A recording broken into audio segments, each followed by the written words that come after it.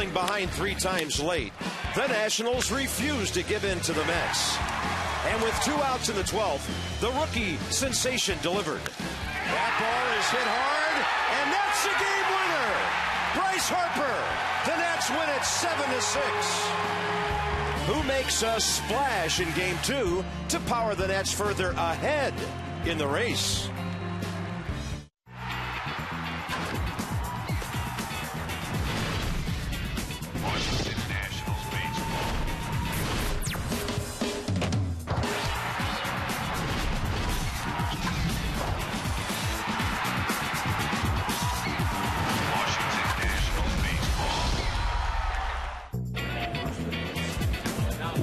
Tonight have in store at Nationals Park? Mets and Nats getting together. Division baseball. Whoever plays the cleanest evidently wins, and it was a wild one here last night. You also want to play really well at home, and the Nats right now second to the Dodgers in home winning percentage. Some really good ball clubs on that list, including the Metropolitans so far. Bob and FP, what a night that was at the ballpark last night. And I heard some people after the game say, oh, what a sloppy ball game, this and that. It wasn't sloppy on the part of the home team, and they're second in the league in team defense right now. Well, they did all the right things last night defensively, and we talked about it on the last road trip. When you're playing in your division on the road as a visiting team, you have to play trump tight defense. Mm. You can't let the other team have more outs. They're the home team. You can't let the crowd in the game. And I thought the Mets last night with their three errors did just that. Yeah, and two other potential double play balls were dropped. They could have been charged with as many as five last night. Ian Desmond, no such problem at shortstop right now. This guy's getting it done with the bat, and he's showing us his great athletic ability on defense. Yeah, talking about clutch defense last night, Ian Desmond made some spectacular plays at shortstop. The barehanded play being the one that I remember the most, but how clutch has he been offensively? Last night, the first player since 1966 with three tying or go ahead RBI in the eighth inning or later. Art Shamsky did it for the Cincinnati Reds in 66. So that guy's been clutch all season long. Anchoring the defense up the middle. If you want him to lead off, he will. If you want him to bat fifth or sixth, he will. Look at that with the bare hand last night. Ian Desmond, one of the best athletes in Major League Baseball. Leading the way, clutch RBIs. Desmond, Harper, couple of guys really hot right now. The Nats, the Mets, straight ahead.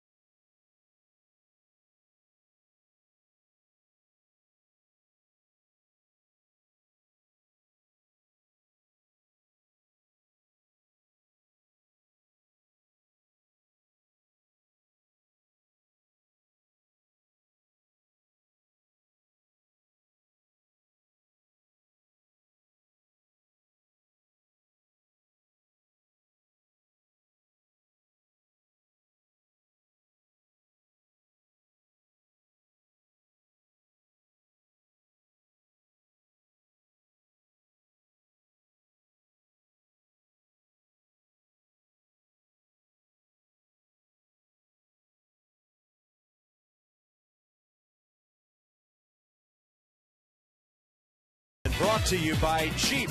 Visit Jeep.com to learn more. And by That's My Boy, starring Adam Sandler and Andy Samberg. In theaters June 15th. Gorgeous night for a little stroll down from the Navy Yard Station to Nationals Park.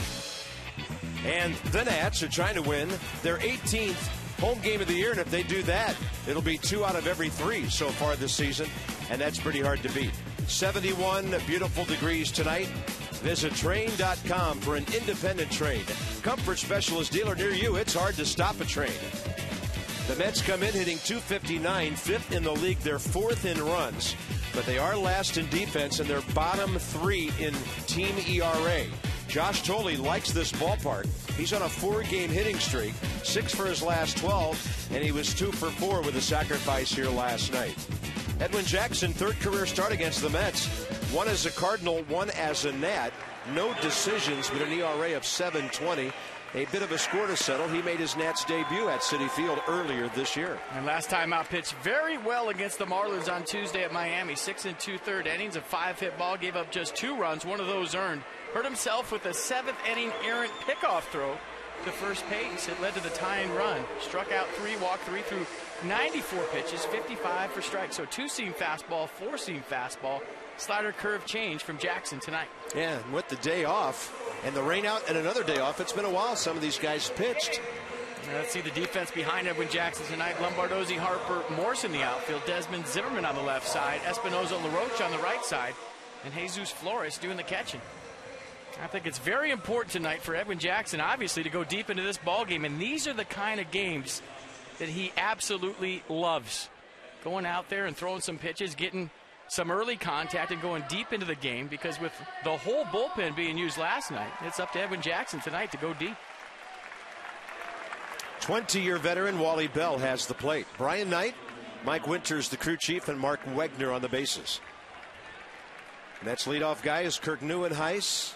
Checks in at 294, had hits each of his last two times up last night. Two for five with an RBI. Scored three runs, and we are set for game two of this three game series. The Nats have beaten the Mets seven out of eight going back to last year. Right in the zone, a little bit up in the zone for a strike, and underway at 707. Mets are a game and a half back of the Nats. The Marlins are a game back. Atlanta there again. Late reaction and a swing and a miss, 0 2. And a good changeup right there from Jackson, 85 miles an hour, looked just like a fastball, good movement. And if you remember his last out in Miami, lots of fastballs went right after the Marlins hitters. There was a time during the game, late in the game, where he threw 80% fastballs, 20% off speed. Fastball up and away. Seemed to catch the hitter by surprise. Nieuwenhuis very late, and this one's off to a good start for Edwin. Yeah, just a fastball up and away right here. Check out the release point, the rotation. Two seam fastball of Taylor, 95 miles an hour. New and Nieuwenhuis couldn't catch up. Thanks for coming.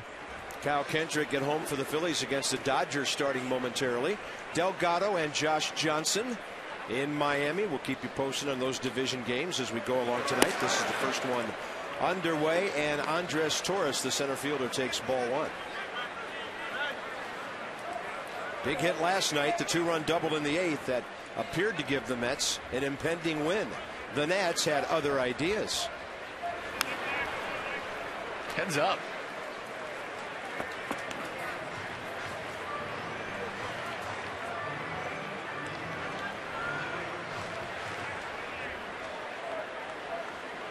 Torres hitting at just 224, two for seven career against Edwin Jackson. Flores setting up outside corner, and the breaking ball's fouled. He kind of got a little Euclid thing going on with his top hand on the bat. I don't remember him doing that as a giant. But right before the pitch comes, he slides the left hand. Check it out right here, up on the bat, away from his bottom hand, his right hand. It's a little rhythm thing. Maybe to keep, see it right there? Yeah. No, works in Boston. And he's a tinker. He's a guy that'll change his stance throughout the course of his season a bunch of times. Go with something that works. He's a leg kick guy sometimes. He'll spread out sometimes and ditch the leg kick. But right there, up on the barrel, slide it up, bring it down, keep your hands loose. And a 2-2 is a swing and a miss. Keeping the ball down off speed right there. Flores the tag. And now it'll be an interesting Jackson and Wright matchup. And so far, so good for Edwin Jackson. The fastball has been good. The changeup is good. And how about the slider right there? That's nasty. He'll throw that down into lefties for his kill pitch, and the first one was great. Here's David Wright, who's hitting 436 on the road. Three points behind Melky Cabrera for the batting lead in the National League. 350 or 365 to 362. And the on base percentage is at 465. David Wright is off to a tremendous first two month start here.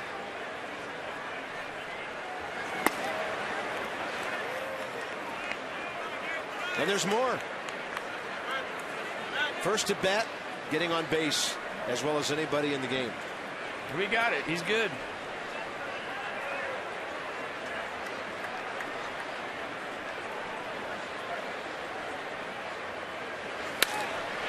Pitch away, hit out to right center, and here comes Harper.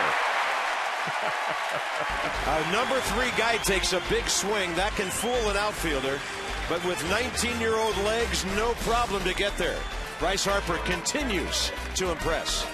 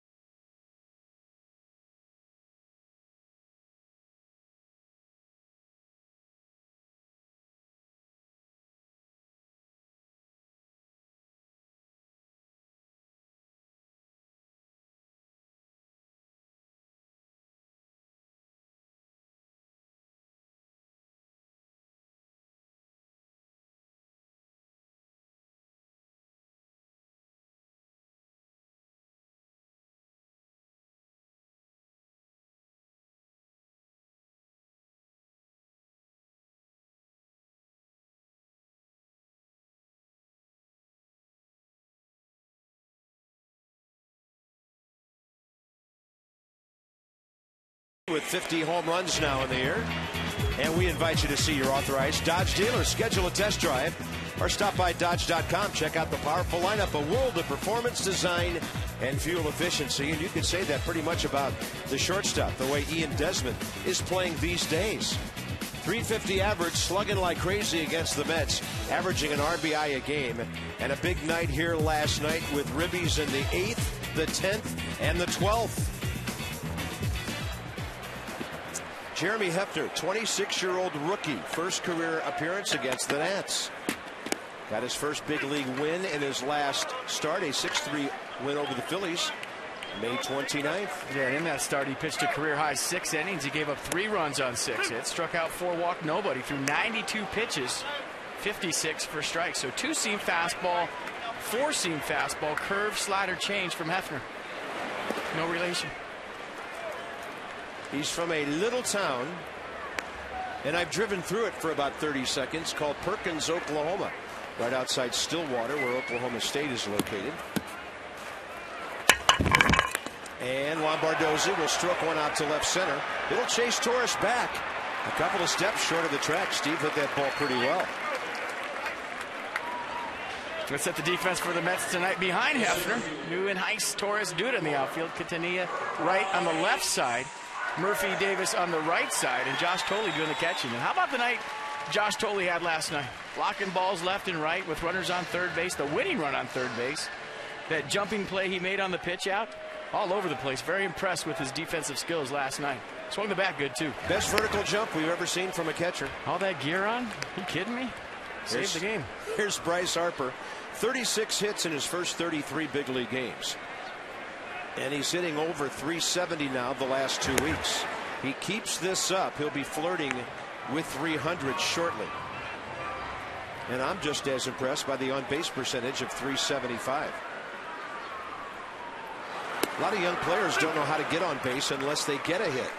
He can do other things to get there. 17 walks so far. He's only struck out six more times than he has walked, and he likes the confines here. 2 2. One of the things among many that's impressed us most about Bryce Harper so far is his strike zone recognition, especially with two strikes. Here comes off speed to the right side and booted literally by Daniel Murphy. Harper's going for two, and he'll make it easily. The Mets are having a nightmare defensively.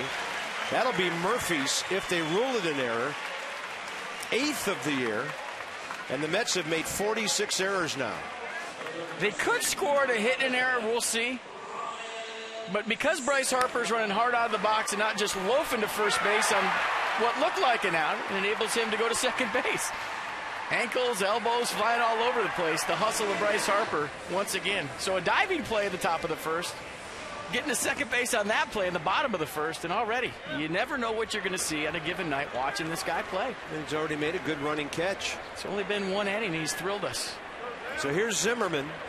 They have given an error. I don't see them flashing a hit up there with it. So evidently a two base error on Daniel Murphy. The Mets now 46 errors, as I mentioned. Only the Giants have made more errors of all the 16 National League clubs. Exactly what we talked about in the open, partner. You got to play Trump tight defense on the road in your division when you're playing for first place, especially. Ryan Zimmerman breaking through last night, hits in the fifth and the eighth innings, an RBI, couple of runs scored. He was on deck when Harper hit that ball to left field to win the game.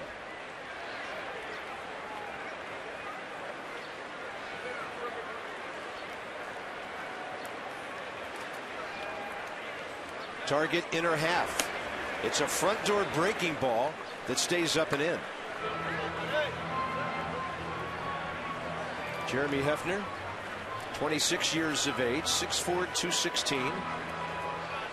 Originally drafted by the Padres, claimed off waivers by the Pirates, and then the Mets did the same thing.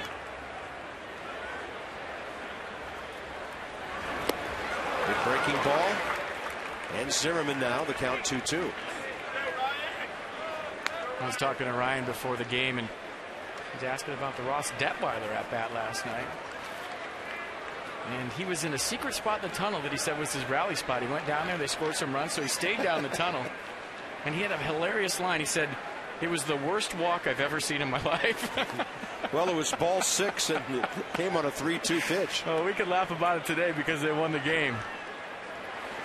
But I thought that was a great line. Detweiler walking ugly last night, but getting to first base. That was pretty interesting. And I know uh, you did talk to Bo Porter about that, and we'll clarify some of the things that went on last night as we go along. Because in this game, you're liable to see anything. Well, Zimmerman working the count back to three and two with Harper aboard. And a one out payoff pitch. Didn't give in to him. That was 91 way outside. And now the Nats have been given two base runners. ST STGinc.com. The government turns to them in MLB ranks the Nationals 21 one run games, 9 and 3 at home. That's really good. Six walk off wins, and over the last two seasons, a dozen and a half. That's a lot.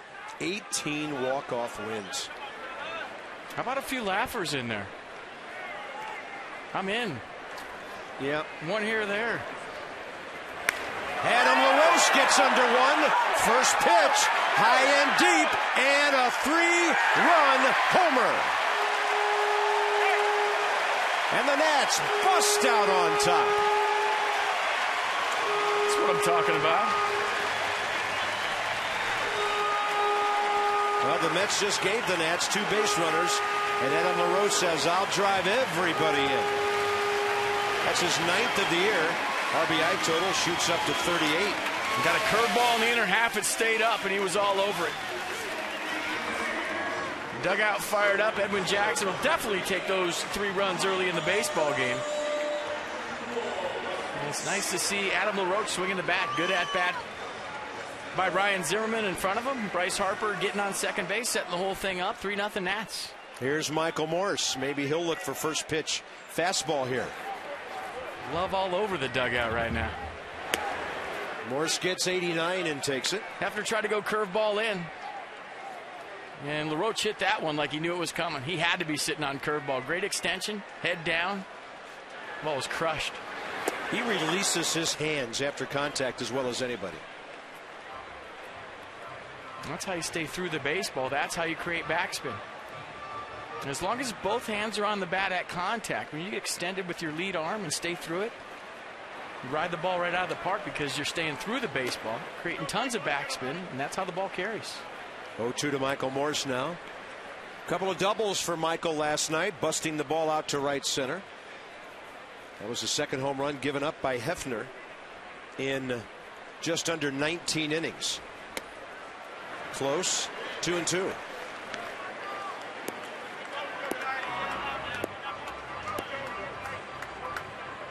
The aforementioned and praised Ian Desmond on deck. Morse had a good hack, and the count's 2 2. Do we ever get tired of watching home runs? No. Bring it. Curveball down and in. You see where Thole was setting up. He wanted a backdoor curveball in the outer half. And check it out. Little souvenir right there. He's fired up. Guys on deck are fired up. Base runners are fired up. And a quick three spot for the Nats. Michael Morse, another opposite field hit. And look at that ball skip off the grass. Almost got by Lucas Duda. And the Nats have four consecutive base runners now.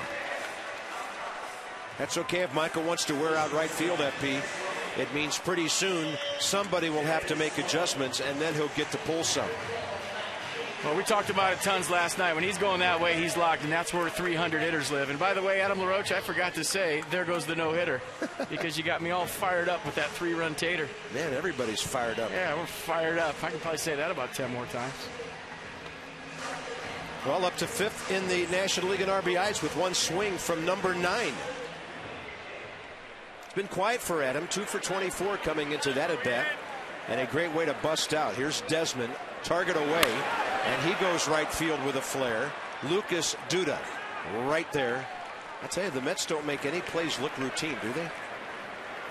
Duda stumbled a bit toward that one. They are what you would call an uneasy looking ball club on defense. I feel like defense wins you a lot of baseball games over the course of a six month season. It's something you can control. You can't always control your offense. You're going to be hot, you're going to be cold as a hitter. With Daniel Murphy and the rest of the infield, I mean, that's something that's got to be there every day. And it's not for lack of work. You come out here early, you watch these guys taking fungos all over the place. They're working hard. But sometimes when you start making errors, it becomes an epidemic, almost like a disease on defense. You see the guy next to you make it, and you say, oh gosh, I don't want to do that. And then the thought's in your head.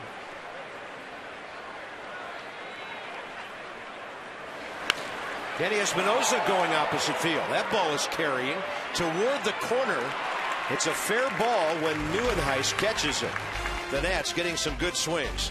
Most notably, Adam LaRoche, an air, a walk, and a first pitch blast. The Nats with a three spot.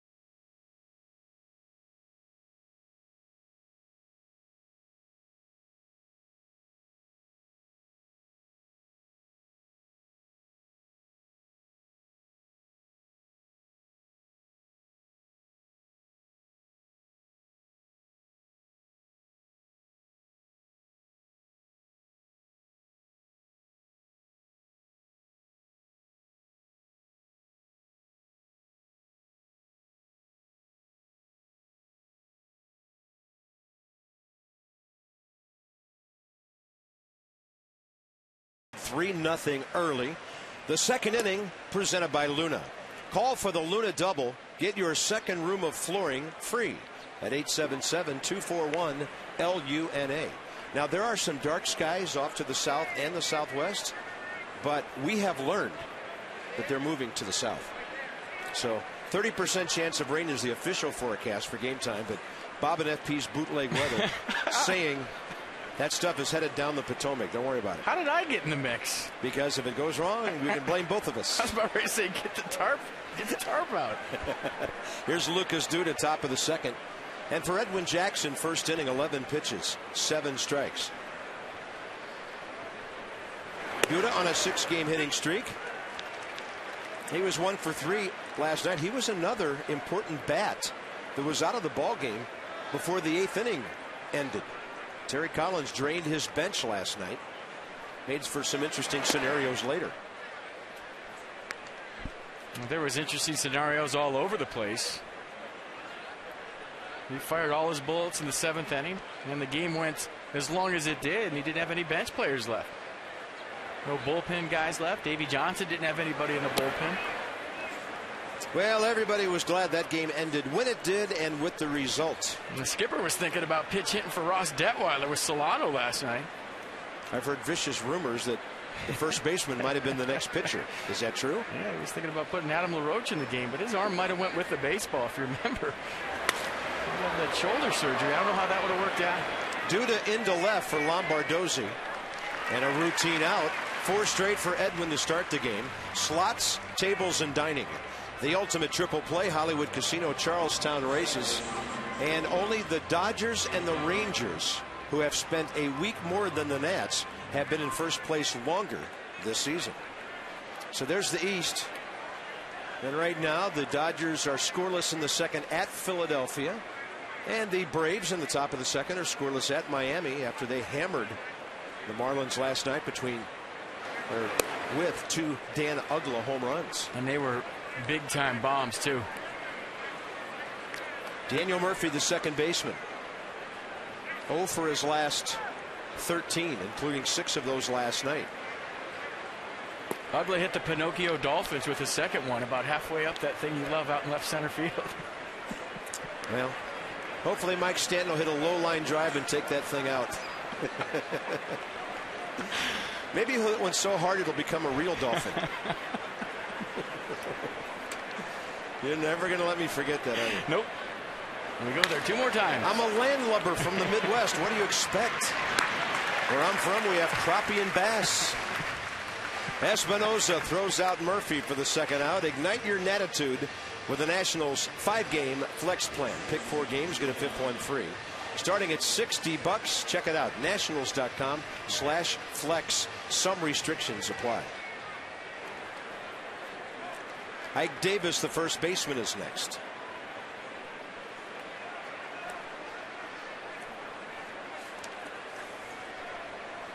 Davis 0 for 4 with a walk, three strikeouts last evening.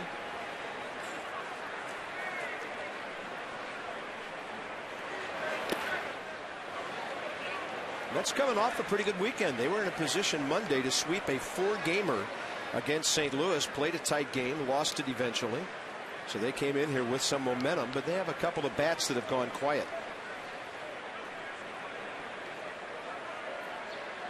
Mets seven games over, 500 at home, one under on the road.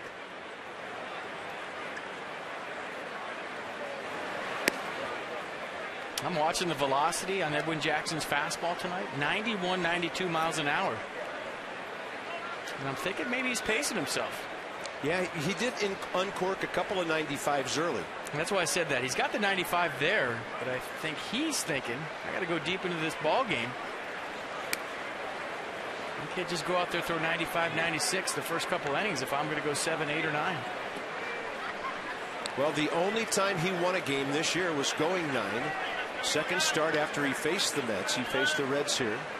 The two hitter on one run, 4 1 win on April 14th. That was coming off five innings at New York five days before. And a four pitch walk to a hitter 0 for his last 12. He'll face Josh Thole now, the catcher.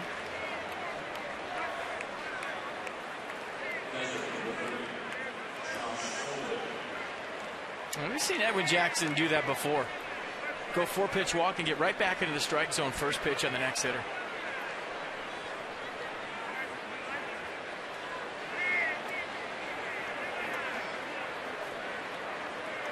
ERA good despite a no decision and then two consecutive losses at Philadelphia and Miami. Well, there you go. Four pitch walk, then he paints the outside corner.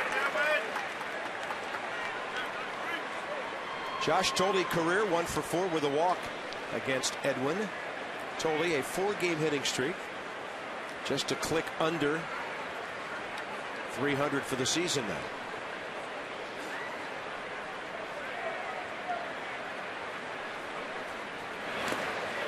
Off speed, well blocked by Flores. Keeping the runner out of scoring position. A pretty good slider, too, from Jackson. Totally a contact guy. Usually, when he swings, he puts the ball in play. He'll foul a lot of balls off with two strikes, but he's a contact guy, and for him to swing and miss, it's got to be dirty.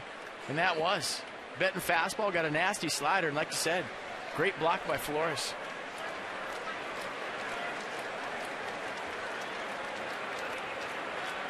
Nats fans starting to clap for a third out here in the second.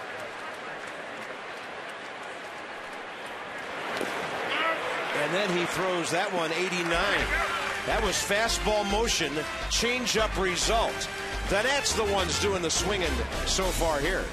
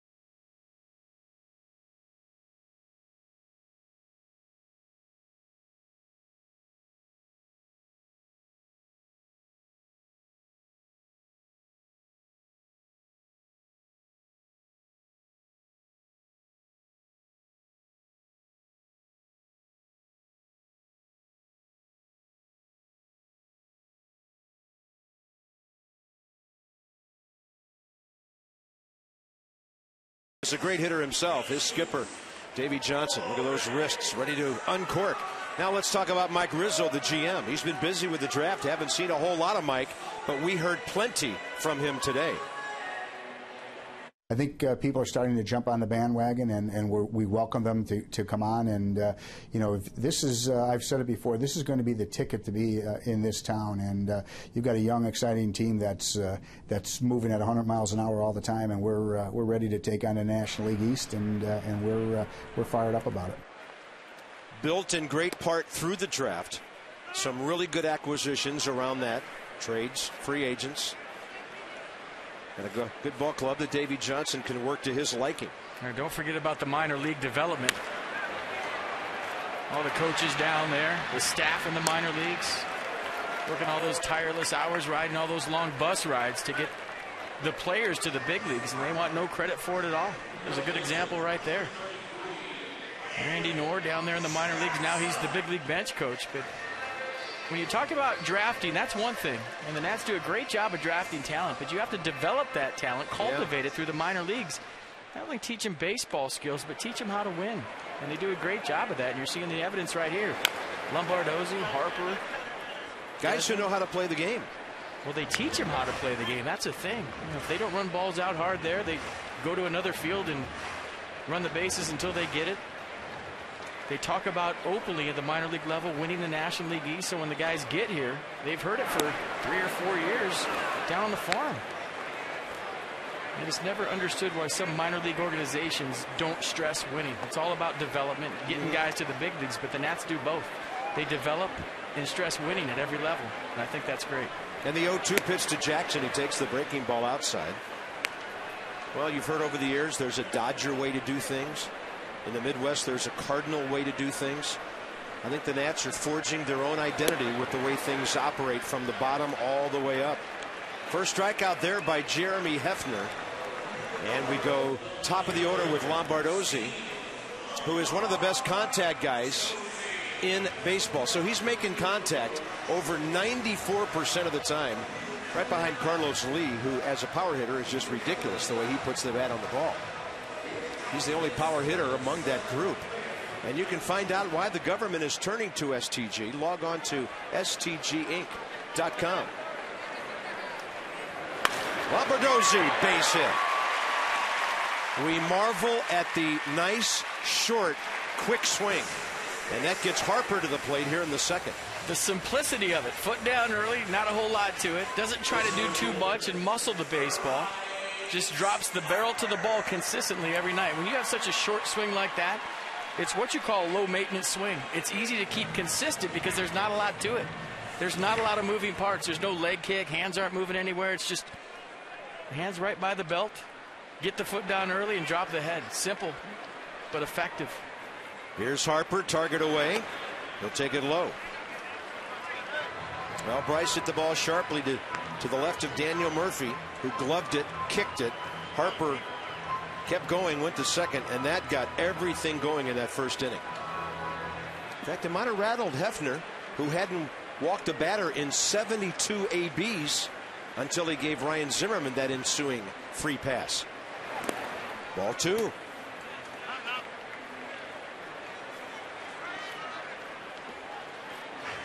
He gets a strike right here, this could be loud. well, the Nats scored just one run in each of Edwin Jackson's last three starts, and they have three already.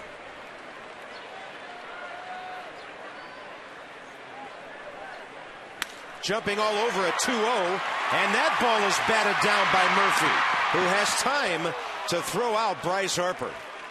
There is nothing easy coming to the Mets defense right now.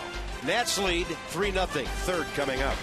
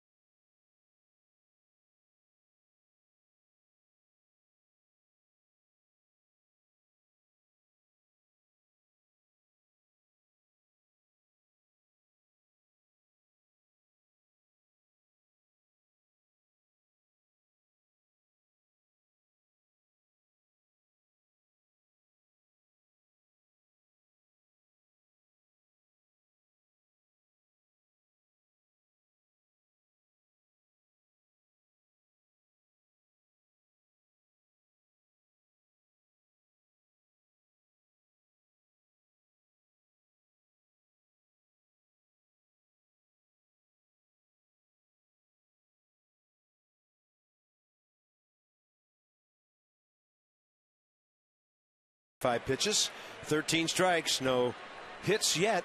Just a reminder as you enjoy a cold one, look forward to Miller time later in the game. It's brought to you by Miller Lite.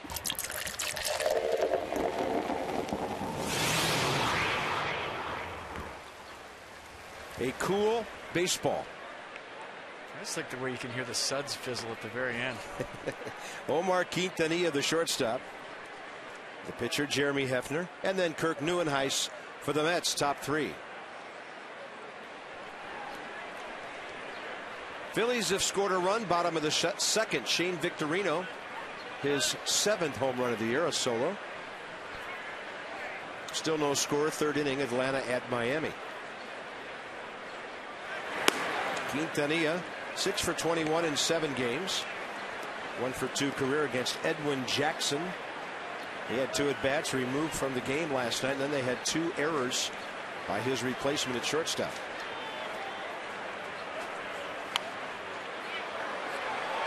Ruben Tejada was playing short when the Nats saw the Mets earlier this season. They've had a bunch of guys on the DL. Tejada has a right quad strain. He's been on the DL for a month and a day.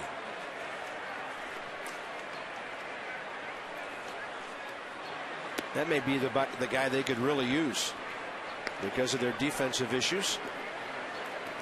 But we're not feeling sorry for anybody. Well, not when it comes to injuries. It's part of the game. It's part of a six-month season, and every team has them, and every team has to deal with them. So with the Phillies reactivated Jim Thome today. Have to check and see if he's in that lineup against the Dodgers. And he is not.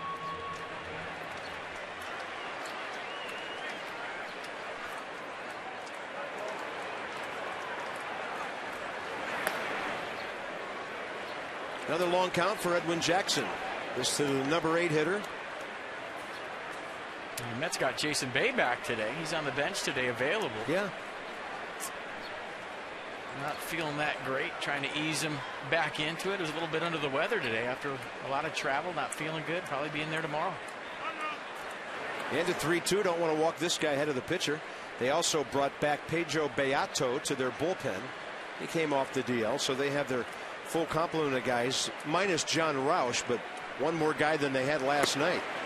Another walk by Jackson, two of the last three batters. And that'll at least give Hefner a chance to bunt, although he homered for his first major league hit earlier this season. Billy Burns is from Mercer University down in Georgia. He was a 32nd rounder just last year, hit 262 at Auburn last season. He's on a hot streak at Hagerstown now. So look, at that 317, 19 stolen bases. Solutions that help you achieve your financial goals. PNC Bank for the achiever in you with our minor league report. He's ready. Call him up.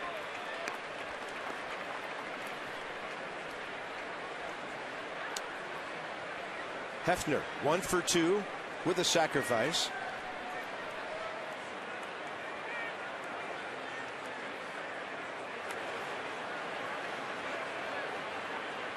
Mets drafted him twice. He did not sign out of junior college. Bunts it hard. No play at second. That's a good move by LaRoche. And when you're up by three, can't take a chance on that. 3 4. Sacrifice is good. I think that's something everybody should do with a bunt. Looking for the lead runner first. Generally speaking, pitchers don't fly down the line. They're happy they got the bunt down. They did their job. They usually kind of take it easy running to first base. So you always have time to look at the lead runner, especially when it's a firm bunt. And why not take a look? Because you got plenty of time to regroup and get the out at first base. I don't see a lot of guys do that. They just want to get the out, but you always have time to check the lead runner. Obviously, Quintanilla runs very well, so LaRoche didn't have a chance. And like you said, up by three, no reason to start a big inning.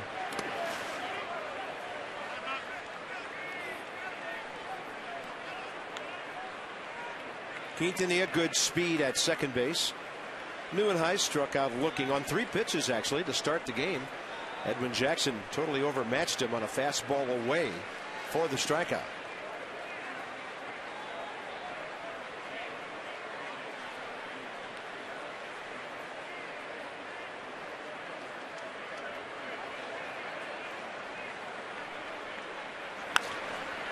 That is out of play down the left side.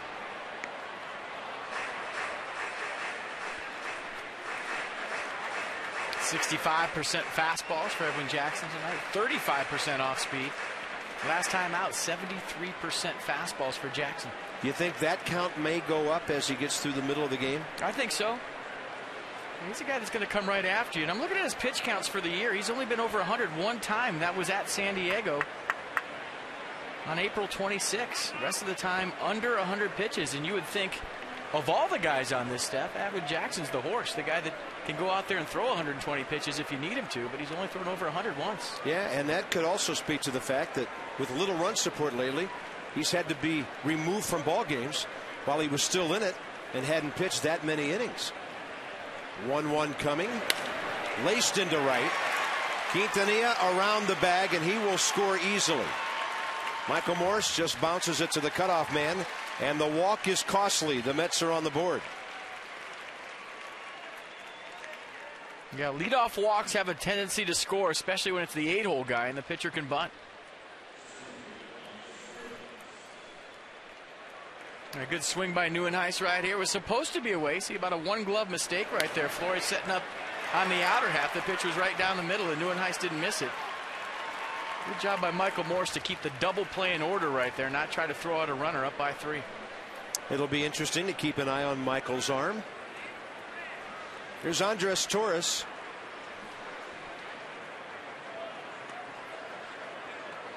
The Mets don't run much. Nieuwenhuis is three for four. As I mentioned last night, the Mets are last in the National League with only 22 steals. With Jose Reyes gone, Angel Pagan gone for the last couple of seasons, and Ruben Tejada injured, they're just not a running ball club. At least in terms of stealing bases. You can be a good running ball club and not steal bases if you have guys who go to first to third and second to home intelligently. Or you steal a base when it really counts late in the game when you're down by one or a tie ball game. Good curveball right there from Jackson, 78 miles an hour. A beauty on the Kinetic North America pitch track, providing world class technology and responsive solutions to our government customers.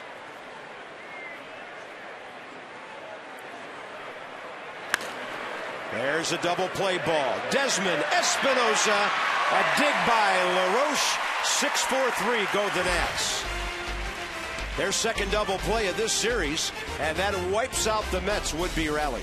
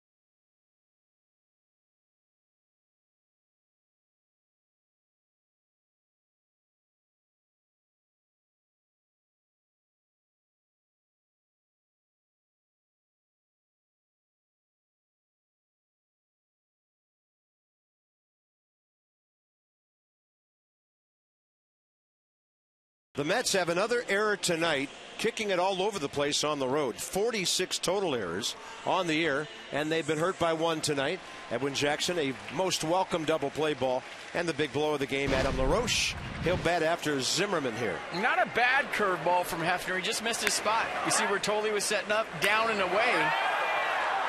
He went into the turbo zone of Adam LaRoche right there, down and in. He got all of it. And so did that fan. Well, you got to catch that ball with a guy in a Mets shirt right behind you. good souvenir, and the Nats a really good first inning. Zimmerman, LaRoche, and Morse, and Ryan goes up hacking. And again, it bears repeating. When he was walked by Hefner, it was the first walk issued by this rookie pitcher over the last 72 previous batters. That swing right there from Ryan Zimmerman shows me he's starting to feel a little bit better. This is the first time he's given the big old swing from his heels in a long time.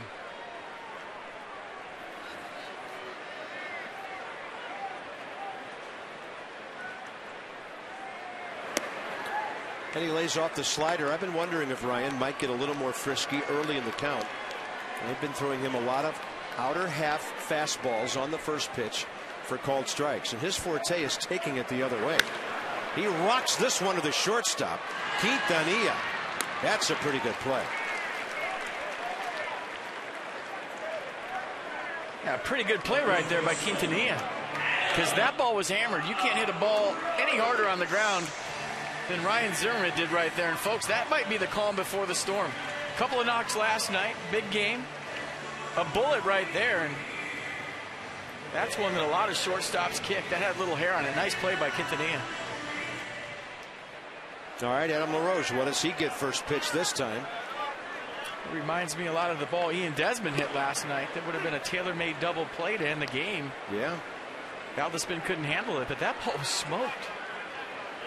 Not like that one right there. So he went 89 84 his first two pitches to Adam LaRoche.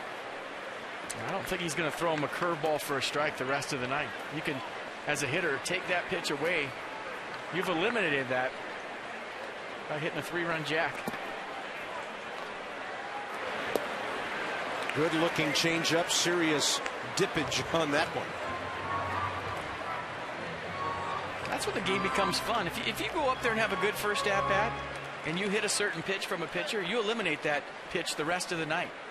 And now a three pitch pitcher becomes a two pitch pitcher. And you could have a big night by going up there and eliminating another pitch your second time up to where he's got one pitch left. Now they might try the same pitch in a different zone, but that's when the game becomes fun. You have a good first at bat. You turn it into a big night for that reason. Yeah, it's been fastball changeup during this at bat. Dodgers have scored two in the third to take a 2 1 lead at Philadelphia. Phillies have lost four in a row now, and they're a game under 500, five back of the Nats. And Cliff Lee can't buy a win. He pitched a gem last night against the Dodgers. He can't get a win. Two and two to LaRoche, and the shift is on, and that ball is booted by Daniel Murphy. I think that one's a hit. That took a weird hop at the end. He's shaking his head right there, thinking he should have made that play, but is he about 150 feet away from home plate right there? That's not an easy play, and that ball was hit hard. I think as an official scorer, I would be inclined to give a hit almost every time on a ball like that. See that last hop right there? That being he's in a place where he never plays, and the ball was hit sharply, had some spin on it. They have not posted a hit yet, and now they're going to call it an error. Well, that's when you got to get a little home love from your scorekeeper right there. Little home cooking. When it could go either way, you That would one- hope when you're at home they give you a hit. Yeah, that one could change. Because We'll they, see. ain't- 'cause they ain't giving you a hit on the road, that's for sure. One on, one out for Michael Morse, who singled out that way last time. So he's hurt the Mets now three times opposite field in his last five official at bats.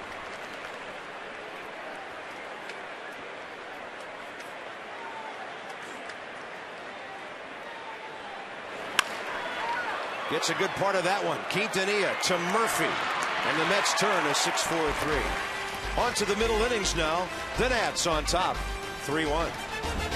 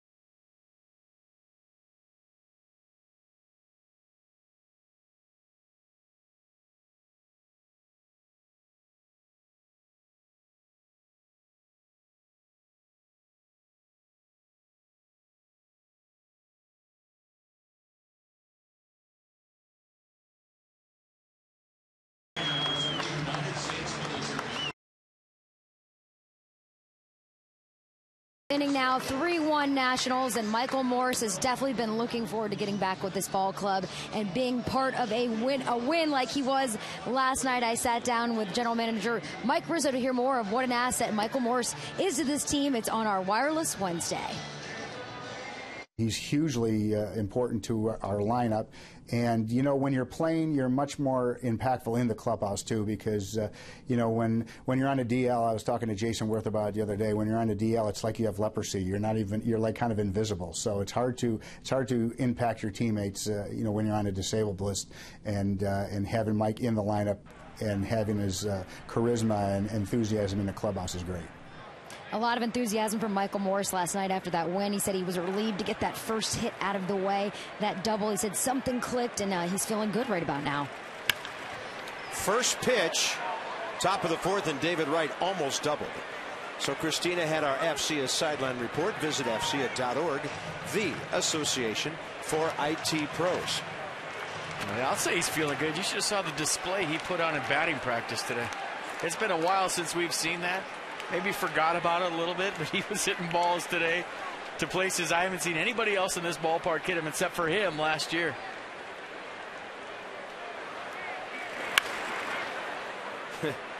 David Wright still trying to hit the ball past Ryan Zimmerman.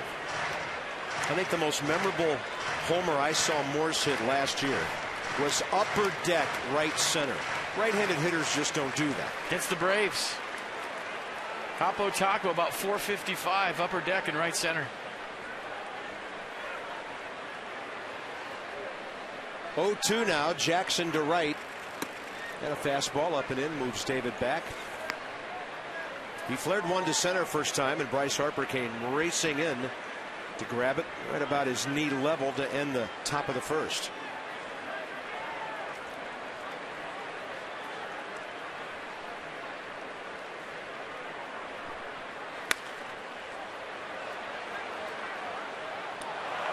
David Wright hitting line drives 24% of the time. A lot more than recently, and he's translating that into hits. So the Mets turn to him. The government turns to STGInc.com, taking us inside those numbers. He's good. One, two.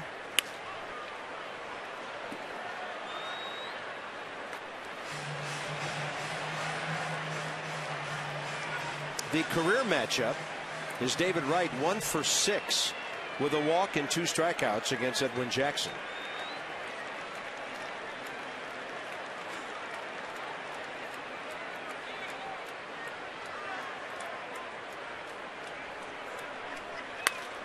Look at this. Where do you pitch the guy?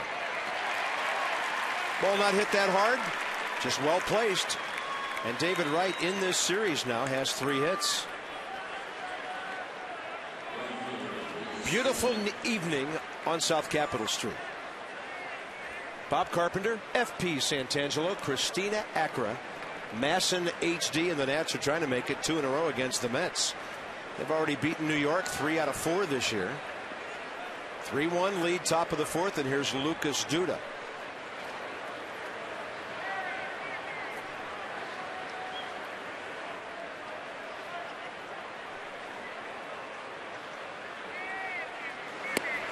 That home run you were talking about off Christian Martinez, August 2nd, here, 455 feet the other way. And the one I remember is the one off Matt Garza at Wrigley Field.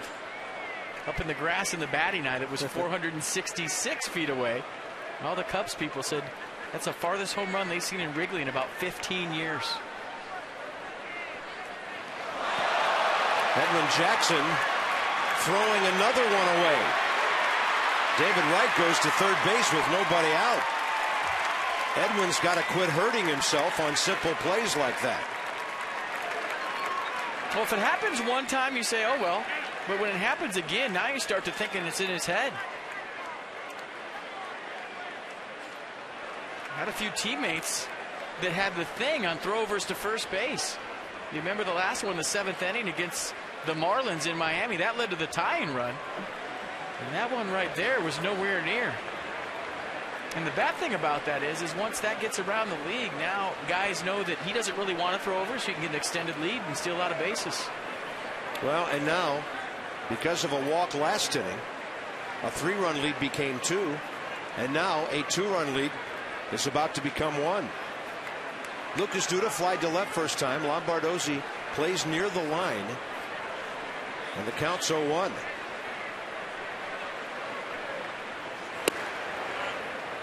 Good looking pitch just inside. And the worst part about that is, is when if you can't throw over to first base, it's not just a one base error; it's a 180 foot mistake.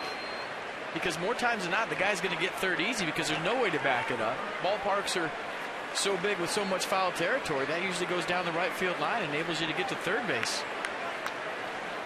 So it's a two base error if you throw it away like that every time. Blocked by Flores. That's only the Nats' 30th error of the year. That's the third lowest total in the National League.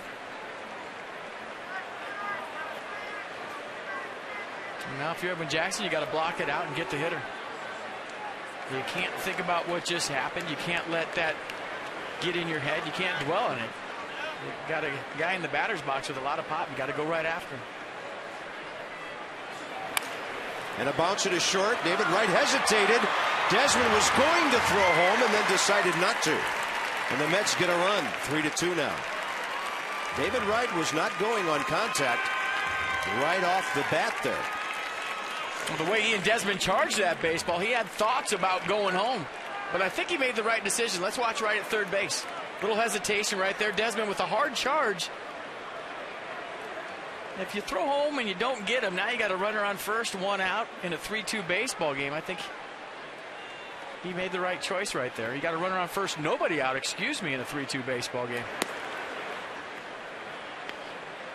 We'll have to wait and see if that run is earned or not, based on whether or not the Mets get a couple more hits in the inning. And he's thinking right now he could have had him at home, but I think he made the right play. Tie ball game, yeah. Up by two runs at that point, get the out.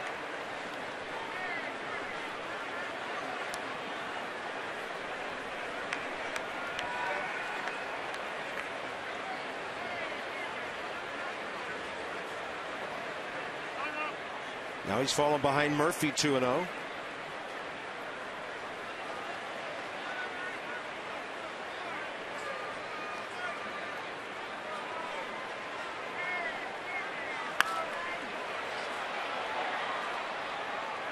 And oh. Edwin Jackson's a rhythm guy. When we watch him good, what does he do? He gets the ball and throws it, gets the ball and throws it. Got a great tempo, great pace. He gets into that groove, gets into that sync, gets into that rhythm. He's tough to hit, and that's the way he was last time out. When you watch him tonight, when he's a little more deliberate and thinking about things, that's when he's telling you he doesn't feel great out there. But that slider right there was pretty good. I check that one out one more time. 86 miles an hour straight down. It's a good pitch. Close a great deal now on your new Nissan. Hurry, the door to your opportunity closes July 2nd. 2 2 pitch. Laced. And look out.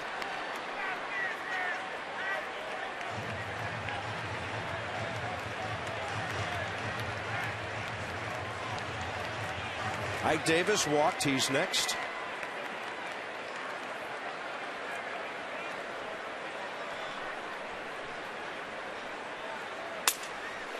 Nasty breaking ball, breaks the bat, gets the ground ball. Desmond takes care of it, two down. One of Edwin's better pitches tonight. And Bryce Harper made it all the way to the infield right there before he realized there was two outs. The Wallflowers are coming. I think he was watching Adam LaRoche, who was about to head for the dugout.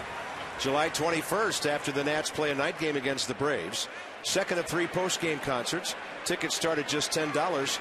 Nationals.com slash concerts to check it out. And he's going to love the fact that I called him out. We pump him up every night. We can show this. It's all right. Guys playing good, teams winning. See, Espinosa was leaving. LaRoche was leaving. And Bryce was almost to second base right there. And he had a long run back out to center field. Michael, Michael Morse was running in. It's like the alarm went off and somebody said, head for the dugout. Well, that's what you do on defense. You see one guy heading off the field, you think you're wrong, so you just follow him like a bunch of sheep. Well, just get the third out, and then everybody can join together in the first base dugout. Ike Davis, the hitter. Happens to the best of them.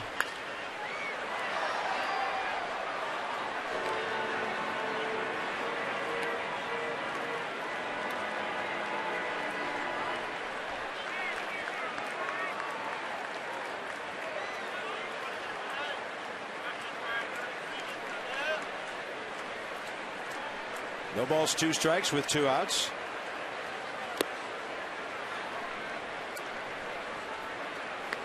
The one thing Edwin's done tonight, he's kept the middle of the lineup quiet. Four through seven, 0 for 5 with a walk.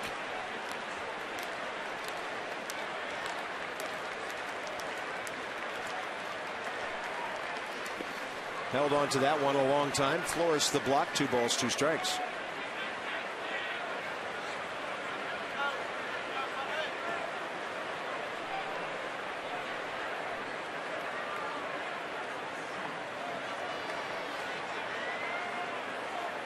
Braves just got two in the fourth at Miami against Josh Johnson to take the lead. Nearly a one-handed swing to stay alive by Ike Davis. His batting average has to be a mystery to the Mets. 0 for his last 12. He has struck out 56 times and batting a buck 60. This guy's a lot better than that.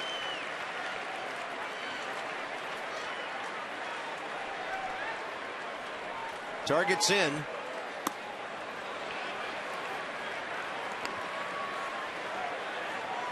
Little slip right there from Edwin Jackson. The ball up in the zone. Either lost his grip or lost his footing.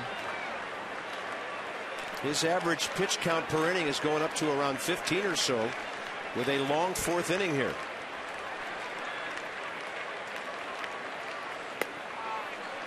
Not getting that call from Wally Bell. That's his third walk tonight, and he's walked Ike Davis twice. Talking about Edwin Jackson in Miami throwing all the fastballs, and to throw a 3 2 slider to a guy that's hitting 160, there must be some sort of history there. Or Edwin Jackson's thinking this guy can hit, but usually with the lead right there, you just feed him a fastball and hope he hits it to somebody. Josh Thole struck out swinging his first time.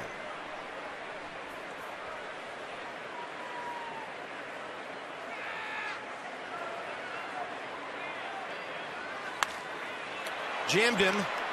Harper on the move, and he will get there to make that catch. The Mets score an unearned run. Ian Desmond will lead off bottom of the fourth. The Nats still lead by one.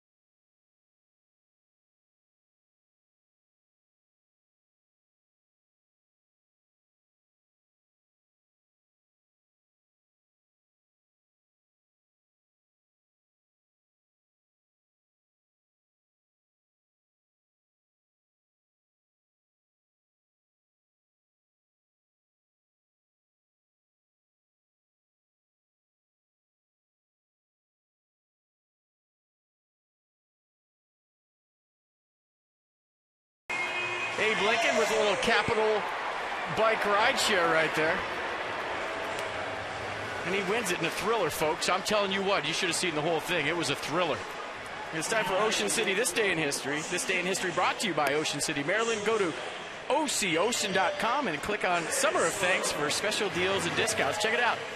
This day in history, June 6, 1892, Benjamin Harrison becomes the first U.S. president to attend a major league game when he watches Cincinnati beat Washington 6 to 5 and 11 innings. And Johnny Holiday told me that was a fantastic game. You should have been there. I was at the Smithsonian today checking out the president's thing, and I found out that William Howard Taft, the 27th president of the United States, started the seventh inning stretch. He used to go to ball games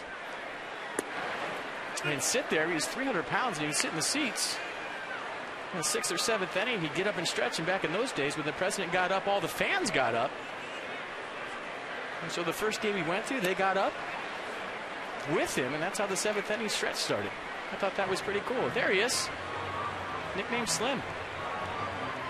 William Howard Taft.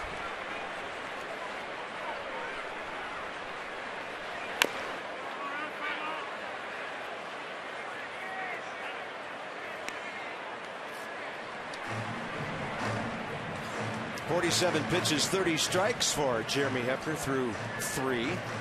Ian Desmond flied to right, first time up.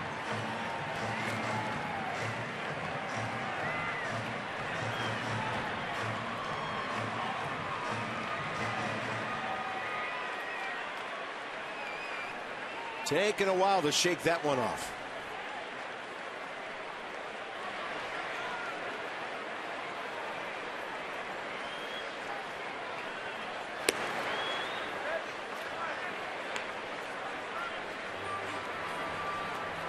Kia Motors with pitch location. What he hits against pitches in certain spots. Discover Kia's full lineup of high quality, stylish, and dependable, vehicle, dependable vehicles. To learn more, kia.com. If you average all those out, it looks like he's a 400 hitter.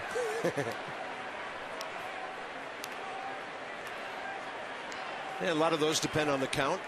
You get 0-2, you can throw it down there to 0-91.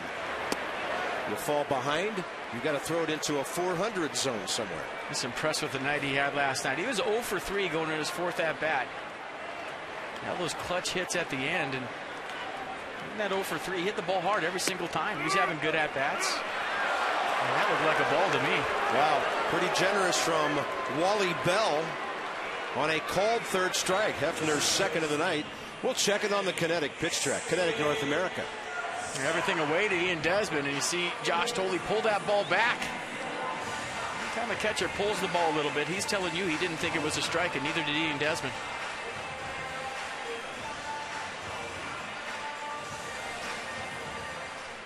And we've talked about that a lot this year, Carp. The catcher just catches it if it's a strike, but if he's moving Yeah. his glove, he's telling you, he's telling everybody he didn't think it was a strike. So we need to make it look like a strike by a simple wrist turn or you know, a subtle pull of the glove back into the strike zone. That's what Thole did on the 3-2 pitch to Desmond. Danny Espinosa quite late for that one. And very subtle stuff. I mean, it's not a big glove jerk. We see where he catches it. Now watch what he does. Yeah, just a little bit right there to make it look like more of a strike, And then he holds it. and it worked.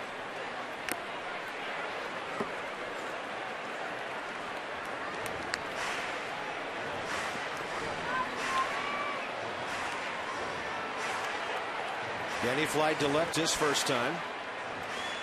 Well, you hope this isn't a repeat of Sunday where you get some home run stuff going early, get some runs early, and then everything goes quiet.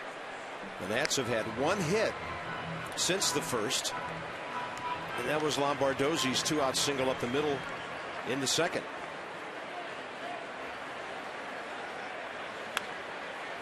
Espinosa with a pretty good rip. Now that's what they did Sunday against the Braves. Back-to-back home runs, two to nothing. You think?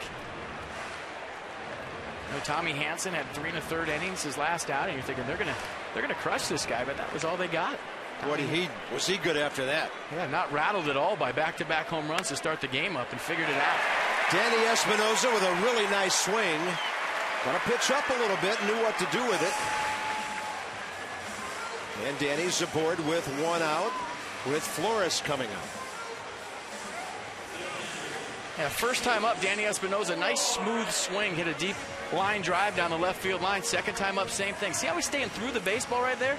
We talked about that the other day. Foot's down early, bats in the strike zone a long time, and that's how you get a lot of contact. A lot of times we talk about his bat being in and out of the zone left-handed. That's a good swing right there. Kept it through the zone. Find the barrel more consistently from the left side. That's a nice swing. Jesus Flores goes up first pitch attack. And Lucas Duda under this one. Two outs now with a pitcher coming up. Series finale. It's a day game tomorrow at 105. Chien-Ming Wang and R.A. Dickey. And then, of course, if the rotation is what we think it will be and should be, it'll be Strasburg, Gonzalez, and Zimmermann at Fenway Park for the weekend. Four o'clock game on Saturday, and a 1.30 with our friends from DC 50 joining us Sunday. Then on to Toronto. The Nats have not been to Fenway Park since 2006. Well, that series is going to have some kind of buzz with Strasburg and Gonzalez the first two games of that series. Wow.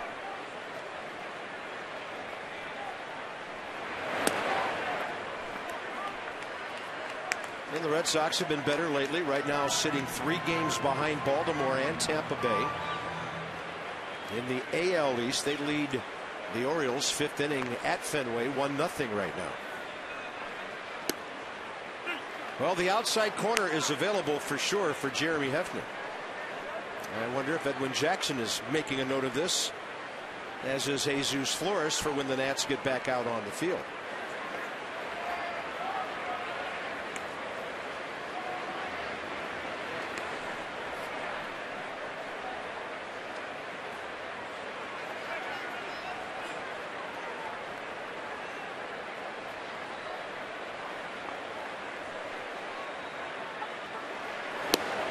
Looks at a 2 1 pitch, and now the count's even. With the bat this year, he's 4 for 22, a 185 career hitter with a homer and seven RBIs. And see all the off speed tonight from Hefner. Hmm.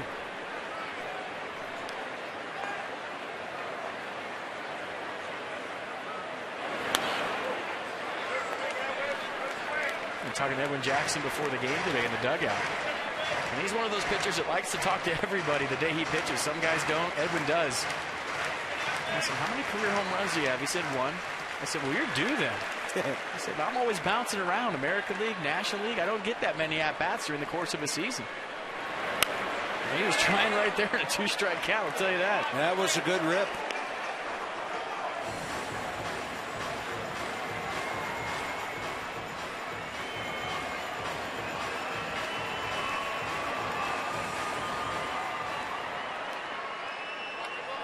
Danny Espinosa singled with one out. Still at first base, two down.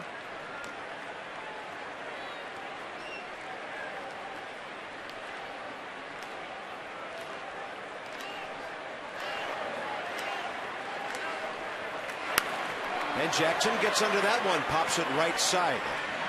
Ike Davis. That's it for the Nats in the fourth. They have stranded three and lead 3 2.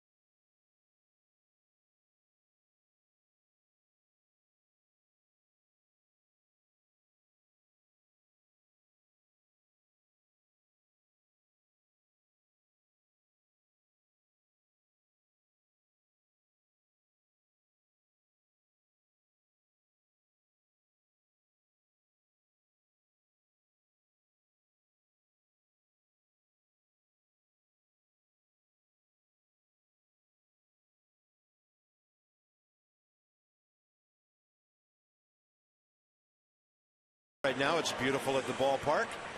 Nice view from out toward our Nats extra set. Up here in the booth, where the guys really work hard, it's on to the top of the fifth inning. Interesting ball game. Big quick start for the Nats. Jackson looking fine. A few glitches and bumps in the road since then. When you get three runs in the first inning, the key as an offensive ball club is to add on. If you can do that, you'll demoralize the team you're playing against. So quick three runs. The Mets answer with two of their own, so a good ball game right now. But if the Nats at the top of the order right now can tack on a few more, that's when you get in the head of the other team. They're thinking, yeah, these guys keep coming. It's going to be a tough one tonight. And really not many opportunities to do so since then. So Edwin's going to have to keep this a 3-2 game for a while. See if his- his guys can get it going. The Nationals will have the top of the lineup due up when the bottom of the fifth rolls around. Still not as many fastballs as he usually throws. And the velocity at times tonight has been in the low 90s. He's still got the 95 if he needs it with two strikes, the reach back fastball. But like we talked about in the first inning, he's trying to save the bullpen tonight. But as I see that, as I say that, I look down there and guys are starting to get loose. Nobody throwing yet, but everybody up, kind of moving around down there. Jim Lett walking around. 63 pitches so far for Edwin Jackson. Yeah, the fourth was his longest frame with 24.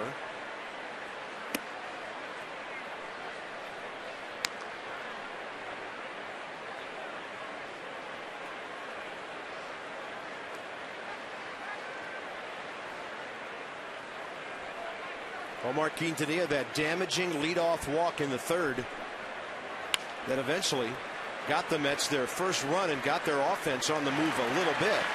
So that's a good out to get middle of the game with the pitcher coming up.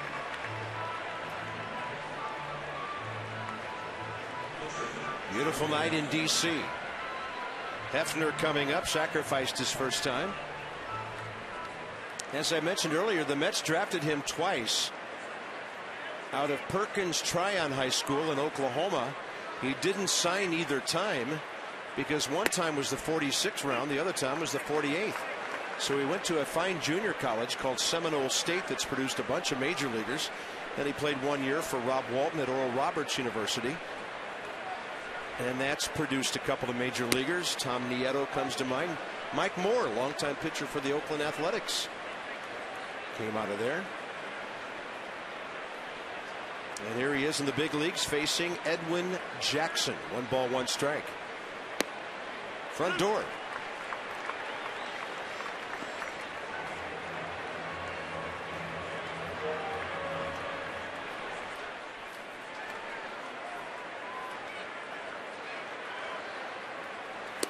Nice slider away.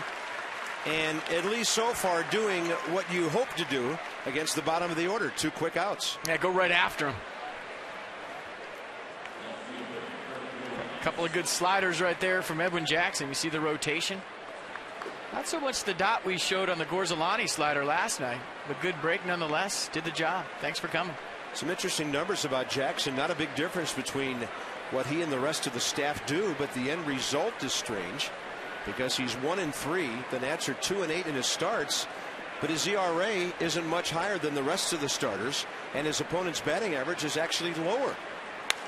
That ball is hit hard to right. Michael Morse grabs it. Tricky line drive, and it'll be Lombardozzi, Harper, and Zimmerman. Bottom of the fifth rolling around. Nats by a run.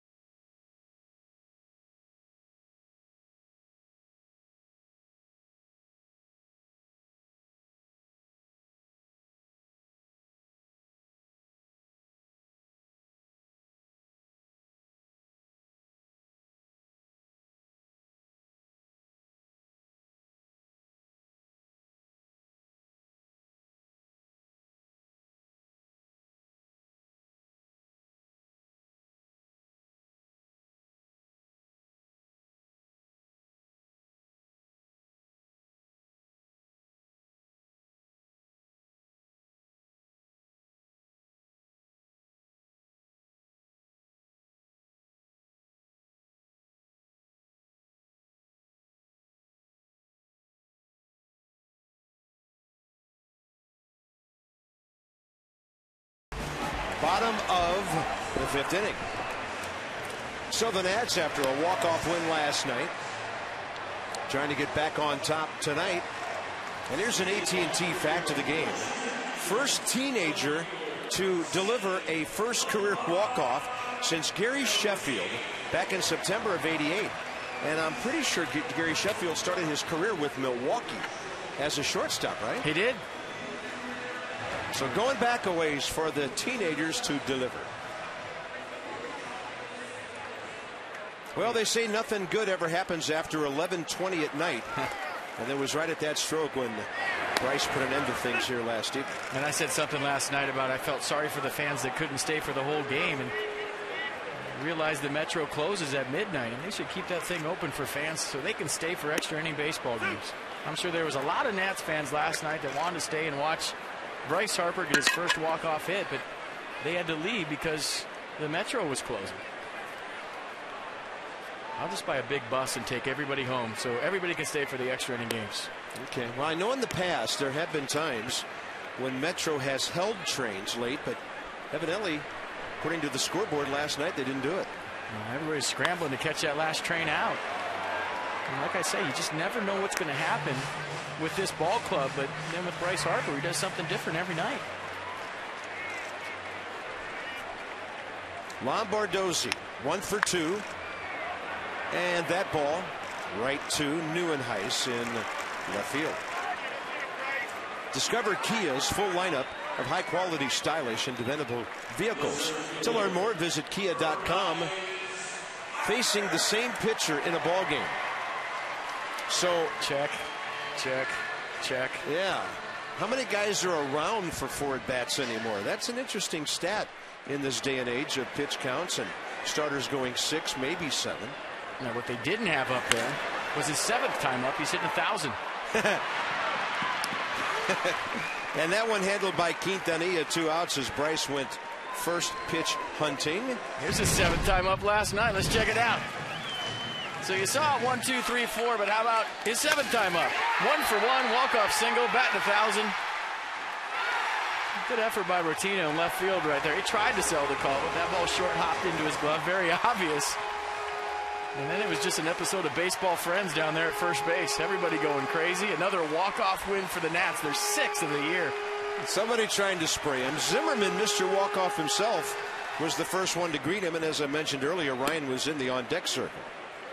So Ryan tonight, a walk, a run, and a ground out on a hot shot to short.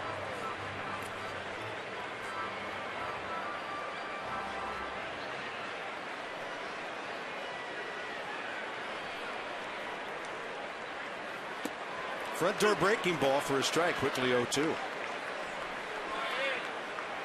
Ryan Zimmerman's having one of those years when it seems like every pitcher in the league gets him 0 2. Breaking balls, fastballs. It'll turn around, we know it will. Jammed with a fastball, and maybe that will help. Didn't hit that ball nearly as hard as the last time, but he loves the result.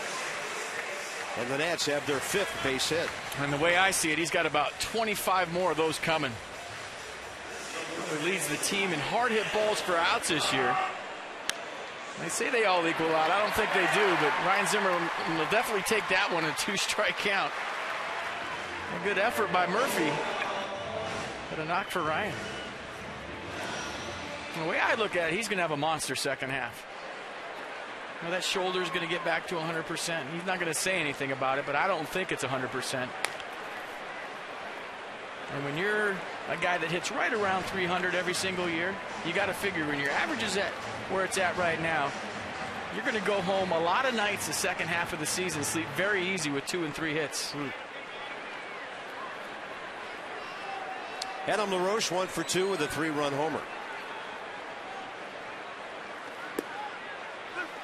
0 2 quickly.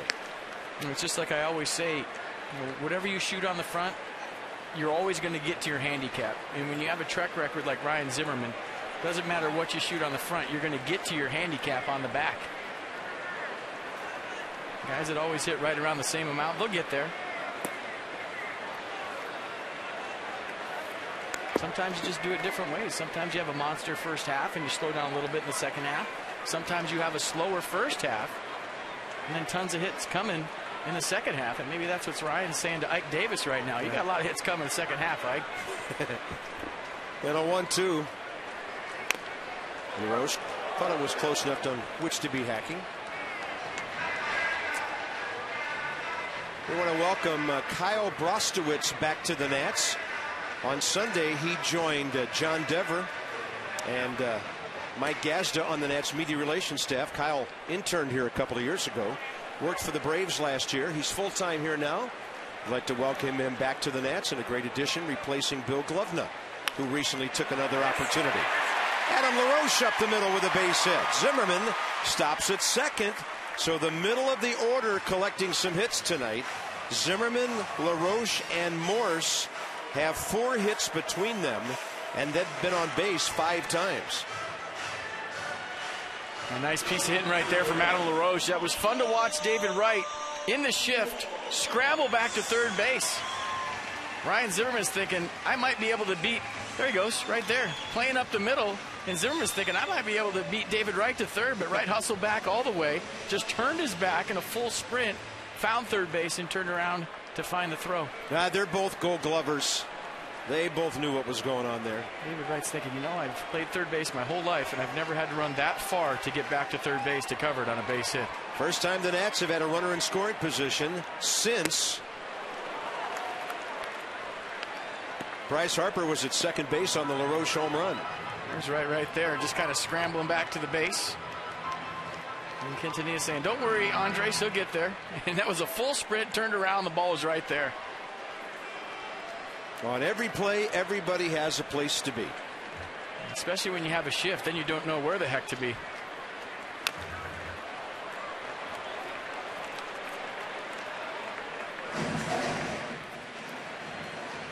Bottom of the fifth. The Nats haven't scored since the first. And this would be a big time of the ball game to break through. Edwin Jackson is facing two, three, and four for the Mets a half inning from now. Michaels one for two, base hit to right, double play ball to short. And the 0-2 pitch well outside. And if you remember last year, early in the season, the book on Michael Morse was pound him in. And it seems like early this year, everybody's trying him away because of the resume. 30 home runs last year, 30 plus home runs, 300 average. So maybe guys a little afraid to try the big guy inside, but they're going in there right now. That is scorched off of Ike Davis. Here comes Zimmerman. The Nats tack on a big run, and now we can welcome Michael Morse to the RBI column.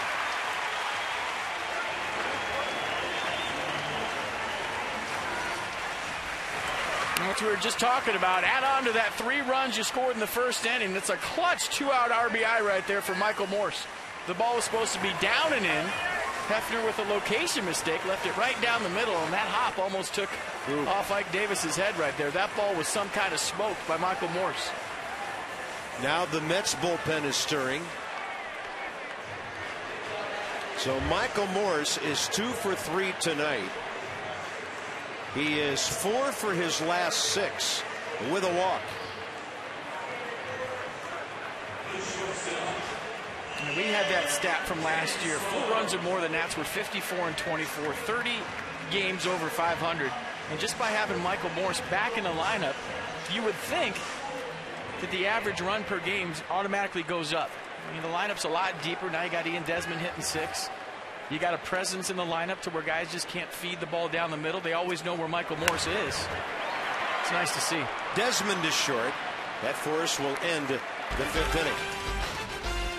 Well, last night the Nats rallied, and tonight they've got the lead.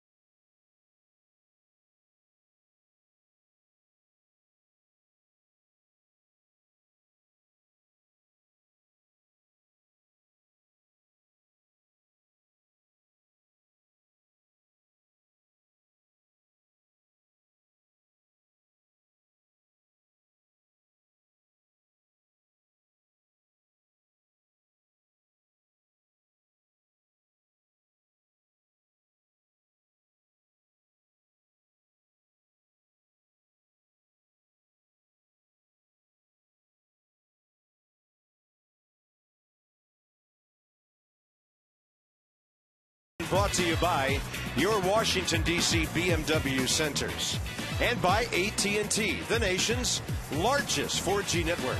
AT&T, rethink possible. The MASN fishing vessel is anchored tonight. It's scuffling too. Look at that. Enjoying a beautiful evening, though, on the Anacostia. The yacht is out enjoying some deep sea fishing somewhere. Top of the sixth. And the Mets box score has an RBI from Nieuwenhuis in the third and a ground ball by Lucas Duda after a pitcher's throwing error in the fourth. That's it for the Mets offense. And this is the big inning right here for Edwin Jackson. Third time through the lineup. Nieuwenhuis lined out hard to right field to end the fifth, but Torres, Wright, and Duda. This inning should tell the story for Edwin Jackson tonight. Most runs the Nats have scored for him over his last nearly three weeks. That's impressive. Third time through, 175 average against. You'd never believe he's one and three with six no decisions if you looked at those. There's a big out. Danny Espinosa throws out Andres Torres, bringing in David Wright the way you like to face him, bases empty. Look at that, 101 of his 107 starts. This is his 184th career start tonight. Trying to get that record, that career record, back within a game of 500. He's 61 and 63. And this is where the RBI by Michael Morse becomes so big because you can go right after David Wright. 1 1 game, not so much. Two run game, go right after him. So you throw first pitch fastball. Looked like a pretty good pitch. Didn't get the call at the knees.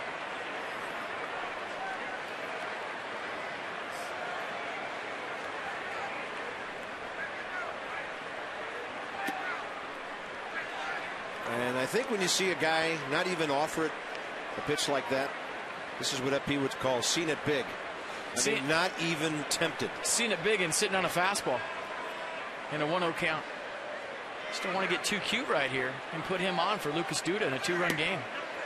Good jammage right there. And 92 miles an hour, two seam fastball born down and in. You see where all the pitches are down. It's a good sign. You get tired, the pitches start getting up in the zone. Edwin Jackson not tired. He's keeping the ball down. Ty Wigginton has just hit his sixth homer of the year. Bottom of the fifth at Philadelphia, they've tied the Dodgers 2 2. Lucas Duda next, the cleanup man for the Mets. And the Braves still lead 2 to 1 at Miami, top of the sixth. In the air to right, and Michael Morse is under it. We are just beyond twilight time here, so no problem seeing the ball. You can buy Nationals game used, autographed, and team issued memorabilia. Available at every home game. Check out sections 112 and 113 for more info. Email memorabilia at nationals.com. Lucas Duda has flied to left, grounded to short, and that was that slow roller on which David Wright scored two innings ago.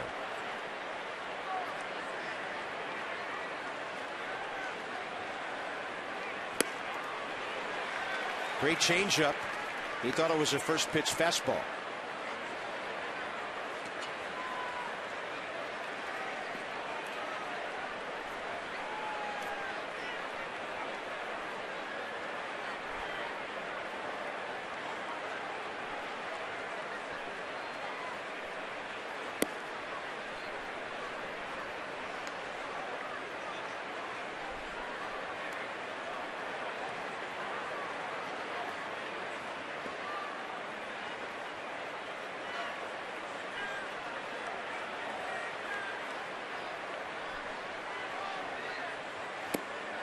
Changing speeds, mixing things up very well.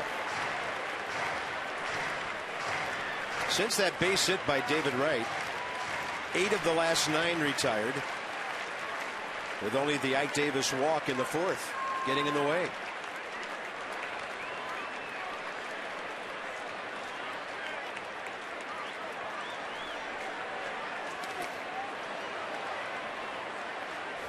Jesus Flores blocks every ball like the bases are loaded. In the bottom of the ninth of game seven of the World Series.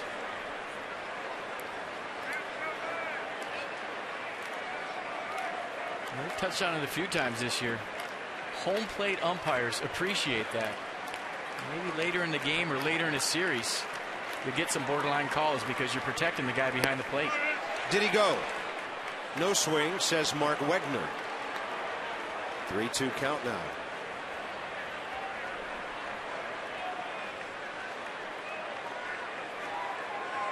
And the home plate umpire realizes it, but there's three guys in the field watching it too. And they're thinking, I can't wait to get behind the plate with this guy catching because he's going to block everything, even with guys nobody on base.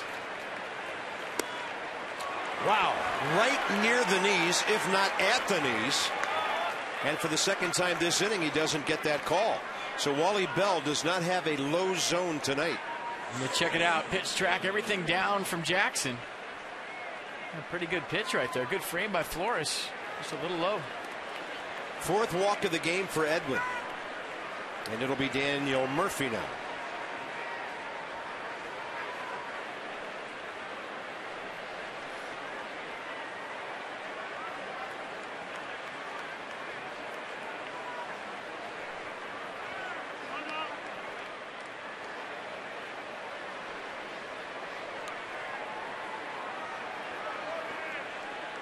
Murphy 0 for 2, bouncing ball to second, ground ball to short.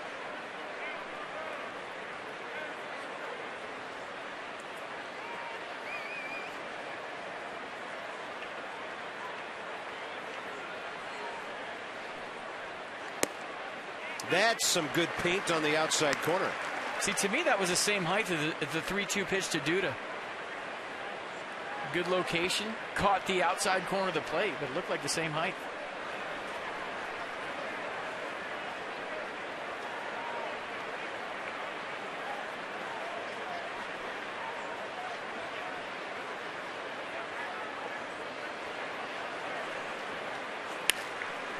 That is just outside the bag.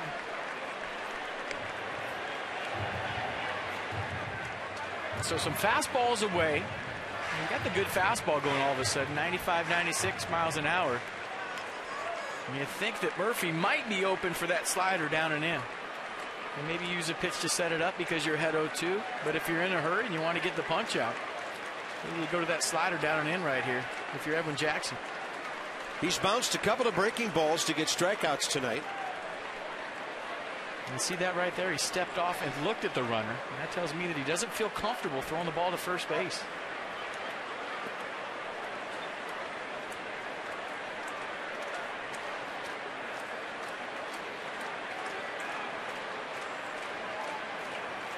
Oh, four shakes to a fastball away.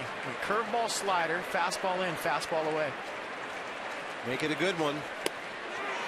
He's going to get the call on the corner. How about real good? Interesting strike zone at times tonight, and the Mets aren't happy about it.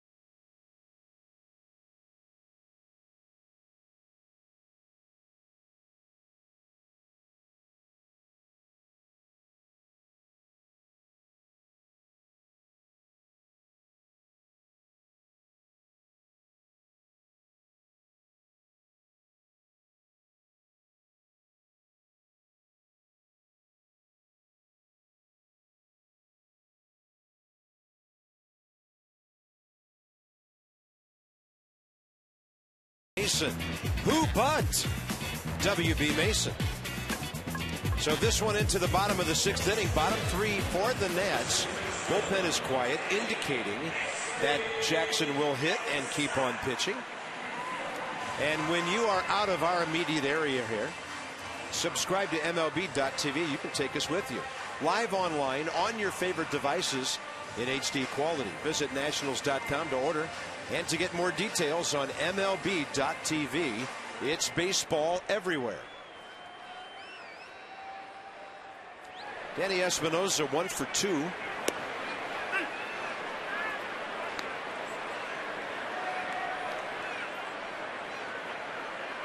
Danny saw that called third strike to Daniel Murphy. Oh, great. I'm the leadoff guy. And that called first strike to him, and he's thinking, I need a longer bat. I need a 38 inch bat instead of my 34 inch bat because Yeah. that call to Murphy was some kind of break for the Nats. And Edwin Jackson, that was way outside. Yeah, Wally Bell handed the Nats one there.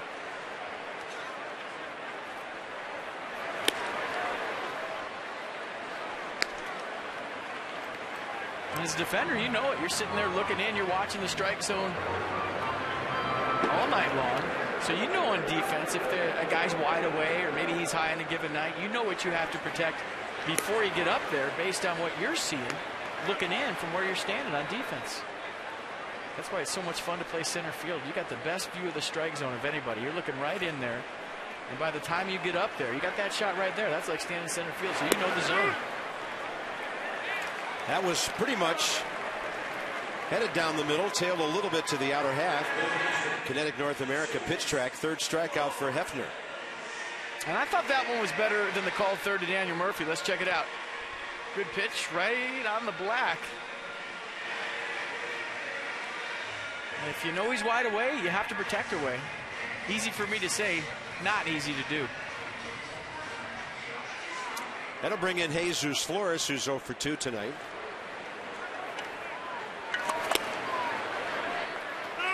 Could be Hefner's last inning. You saw their only left-hander, Tim Byrdak, warming up. He's due to bat fourth in the top of the seventh. On a slider and a bouncer. Two hops to Quintanilla. He just gooses it over there with the catcher running. Two outs. And here comes Edwin Jackson. Damage from the middle of the batting order tonight. So Zimmerman has a hit and a walk. LaRoche has two hits, including the homer. Michael Morse has gone opposite field a couple of times. And I know the subject of conversation around the offense lately has been the non-production by the middle of the lineup. That is not the case tonight. Look out, Bo Porter. Edwin Jackson does not get cheated. And Bo Porter just found that out firsthand. He's thinking one thing right now. Home run number two. Swing hard in case they hit it. Absolutely. So they give him a changeup. That way you can swing hard and not get it. Well, you can scare a guy away from a fastball with that first hack.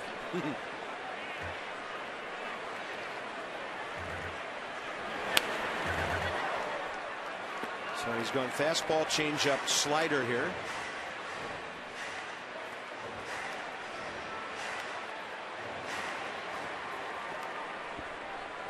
Mets looking for arms. Picked up this guy on waivers last December from San Diego.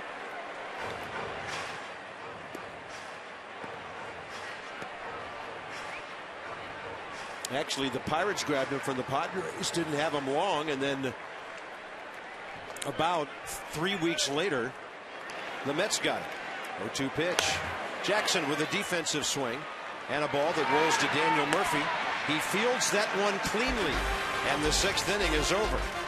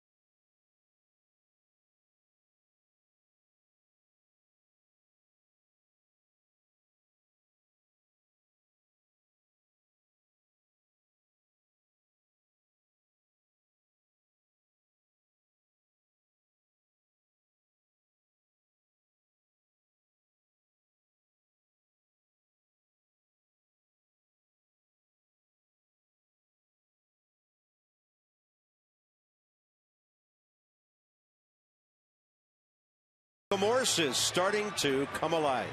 Two for three opposite field RBI. Adam LaRoche, the big blast in the first inning. There are your four runs batted in. Hopefully enough for Edwin Jackson. As he goes to the seventh inning right here, we're going to show the strikeouts. But talking to Edwin Jackson before the game today, he wanted to pitch to contact. So this is the reason guys try to strike everybody out. Every time we show a package, it's of strikeouts. How about a first pitch ground ball to shortstop? How about just a routine pop up to center field? And maybe guys will start buying in to pitching to contact. But all the highlights as Edwin Jackson looks in right there and says, "Whoa, I got away with one right there for strike three. Maybe show some first pitch outs the next highlight package. What do you think? I like it. Yeah. We'll make that cool. Well, you sound like a guy who wants to see mid range jumpers in basketball instead of dunks. I want to see guys using the backboard. Yeah. See a hook shot. A good bounce pass. Well, any way to get people out in this game.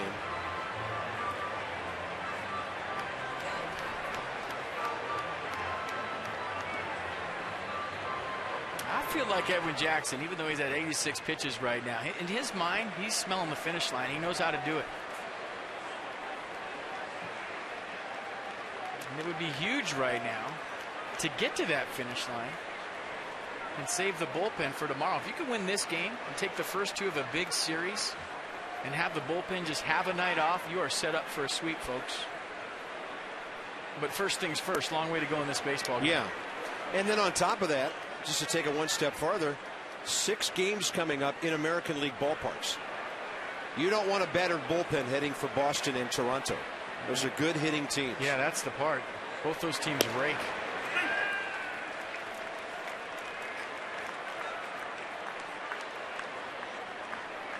Ike Davis, Josh Thole, Omar Quintanilla for the Mets in the top of the seventh.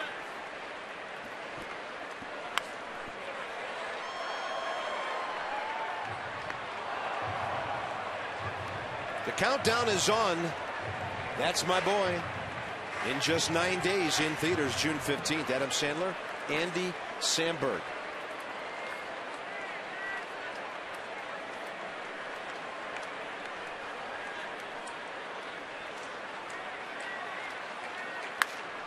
Well hit left center. That will plug the gap. Lombardozzi gets to it. Lead off double Ike Davis. That breaks an 0 for 12 for him after he walked two times tonight.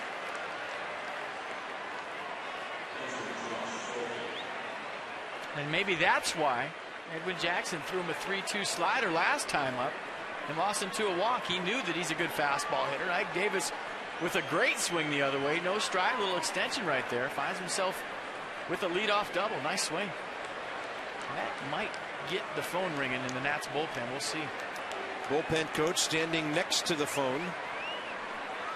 Jim Lett waiting. He's got his all, all of his friends back tonight. He had no friends down there last night. They were all used up. Yeah, even his bullpen catchers deserted him there in the late stages. Tons of buddies ready to rock tonight for Jim Lett.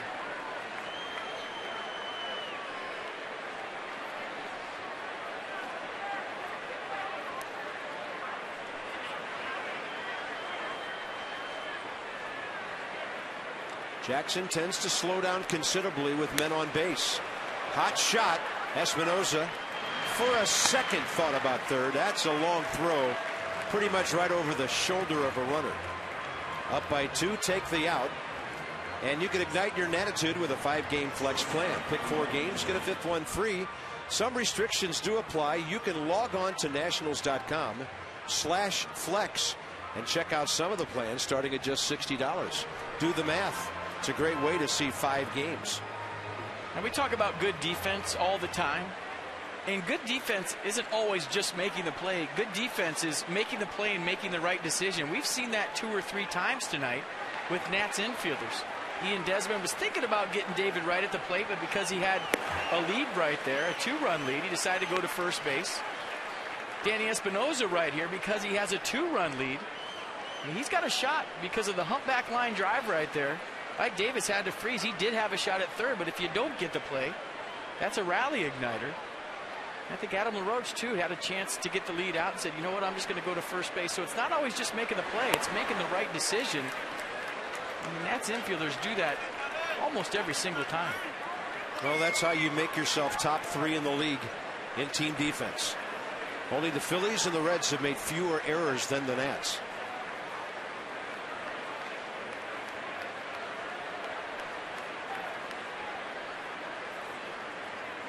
Quintanilla has walked and grounded out and now grounded out again.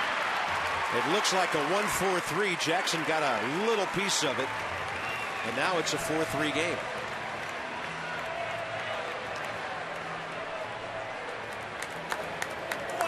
We talked about the Mets last night doing little things on offense, and that's good baseball right there. Ike Davis with a leadoff double. Josh Thole moving him over, and Omar Quintanilla taking what the defense gives you. Little ground ball to second base. RBI making this a one-run game. It's good baseball. Jordany Valdespin will pinch hit for the Mets here. When he did this last night, he hit a home run. Later, he doubled. Then he gave, gave both of those runs back with errors at shortstop. So he will bat for Hefner, who goes six innings and gives the Nats four runs, three earned on seven hits.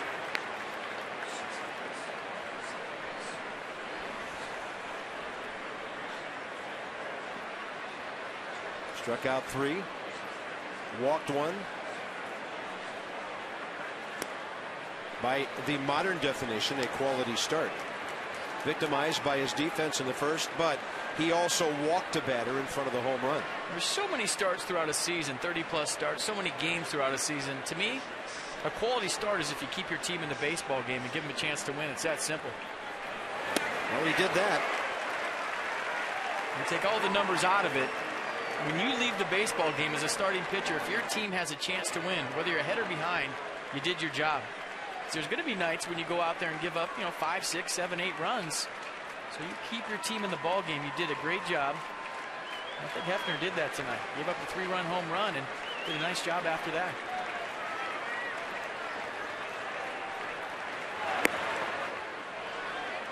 He goes off speed, tried to steal a strike down around the knees. Edwin now trying to go at least seven in four of his last six starts. So this will be, as FP mentioned earlier, just the second time this year he goes 100. 105 at San Diego last month. Swing and a miss. And he will get the Nats with strikeout number six to the seventh inning stretch with the lead. 4 3, Washington.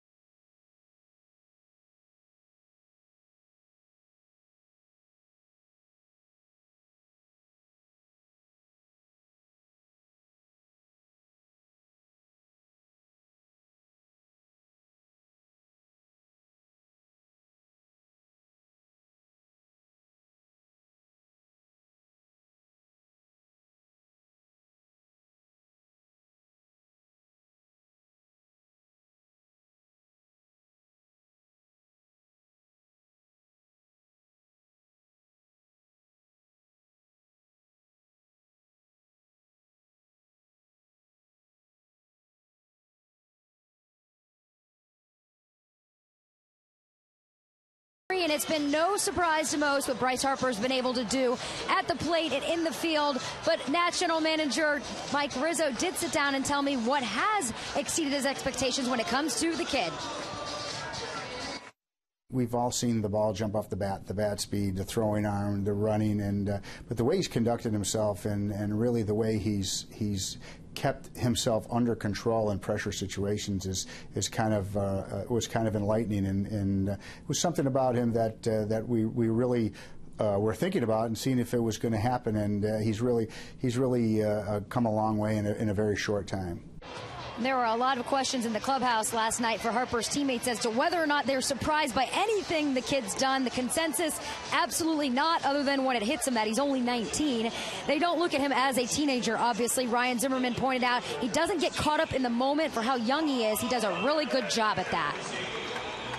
Well, he's a teammate and performing at the highest level here. And, you know, they talked about him fitting in in spring training. He's taken it right to the regular season. And we could talk about Bryce Harper and give him credit, but I think a lot of credit has to go to the Nats clubhouse. There's a lot of clubhouses that wouldn't accept a 19 year old like this. And when you talk about the makeup of that clubhouse and those guys just taking him in and accepting him, and as a 19 year old, you look around and you find guys that you want to emulate. There's always somebody that breaks you in when you're a rookie and you find that guy, and he's been hanging around Ian Desmond a lot. I think that's a great guy for him to latch onto. But you know, you talk about them accepting him. I think you got to give a lot of credit to the Nats clubhouse. All the guys on this team and the makeup of that team. This call to the bullpen, packaged by the UPS store. We love logistics. Tim Byrdak gets the call. Like everybody else pitching the game last night, but he only faced one hitter. That was in the eighth last night. Actually got one out and gave up a hit to Ryan Zimmerman, who eventually scored. And Zimmerman, who is one of the best, pardon me, Lombardozzi, one of the best bunters, just unable to drop it down that third base line. Great idea. That would have been fun. But that's the way you do it. It's called fair foul. And if you're going to lay down a base hit bunt, you want to be either perfect or foul so you're still hitting. If you miss a bunt toward the pitcher, it's an at bat and you're out. But if you try to bunt it perfect down the line for a base hit, if it rolls foul, you're still hitting. And if it stays fair, you got yourself a knock. That's what you do early in the count. Well, you mentioned this with Espinosa. Lombardozzi, that kind of guy too. One or two of those a week would be really nice. Breaking ball stays outside 1 1. This is interesting. Lombardozzi, not that many at bats right handed, just 19. Two hits from that side, one of them a double, one RBI.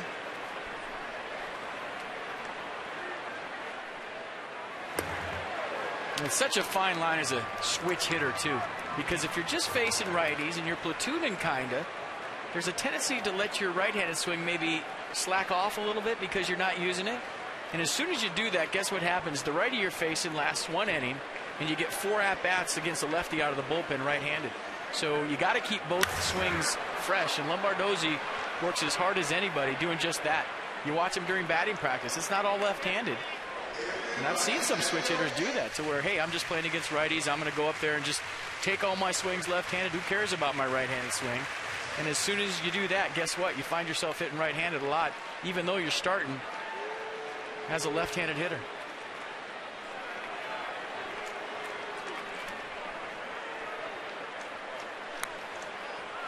That's a check swing and a foul.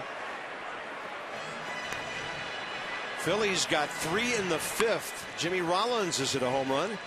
Now they lead the Dodgers in the sixth, 4 2 up at Citizens Bank Park. And the Braves are batting in the eighth, still leading 2 1 at Miami. Inside, 3 and 2. I want to send out our best wishes to Tommy Lasorda, too. Hmm. Make sure he's doing okay. It sounds like he's fine. Going to be back in Los Angeles rooting for the team. Had a great quote the other night. He said, The doctors confirmed it. I do bleed Dodger blue. Big walk, maybe. We'll see. With Harper and Zimmerman coming up.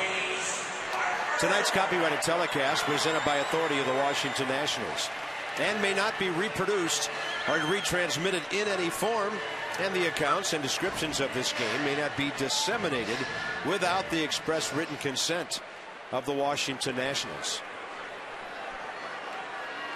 Possibly the last hitter for Byrdak as he goes lefty lefty with Harper Zimmerman on deck.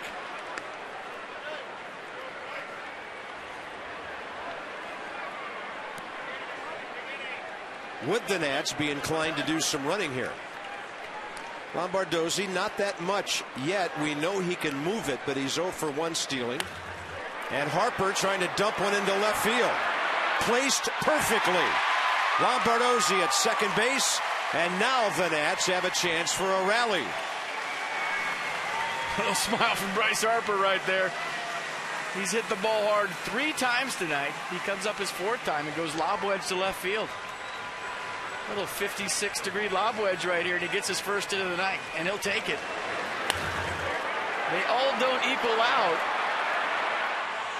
but you just don't throw those back. Somebody told him in the dugout he was going to get a knock, and he didn't care what it looked like.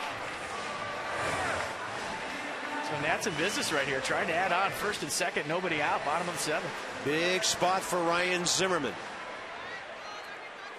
A walk, a single, one for two, two runs scored tonight. This is a breathing room at bat right here. And Byrdak gets the call near the outside corner from Wally Bell.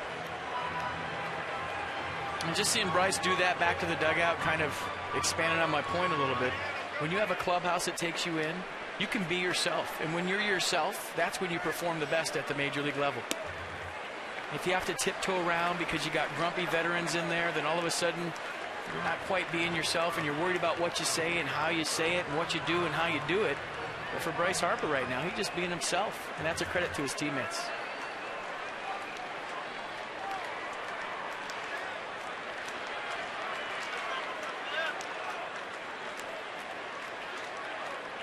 Target away.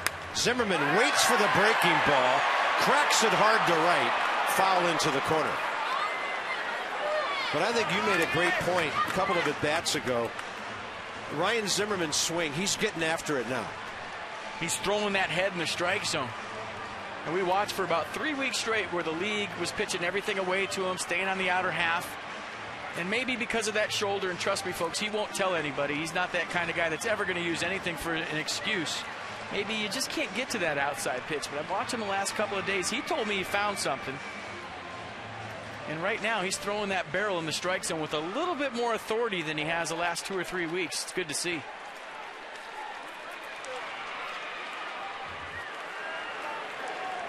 Protection count here.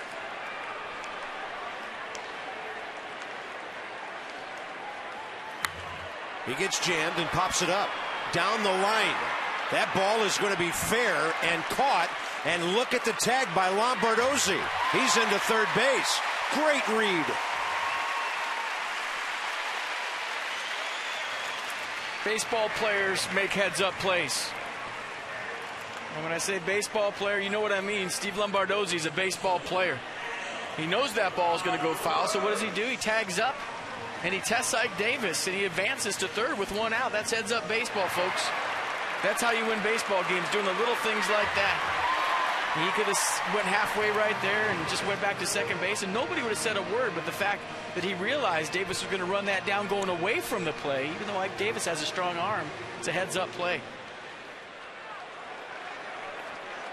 I think they're going to appeal second base right here, or else they have the weirdest shift on that I've ever seen in my whole life. Yeah, they're appealing because Murphy's going to back up the throw to Quintanilla. Whoa. No, they're not. Whoa. How about that? Second baseman in center field, shortstop on the bag, and David Wright running from third to his left. What Yeah. is going on here? David Wright was standing on the base. Daniel Murphy was 10 steps on the outfield grass right behind the base. And Quintanilla stand on the base, like you said. And it was a one pitch shift. Adam LaRoche high in the air to center. That'll be deep enough to make it five to three. And Adam LaRoche has driven in four tonight.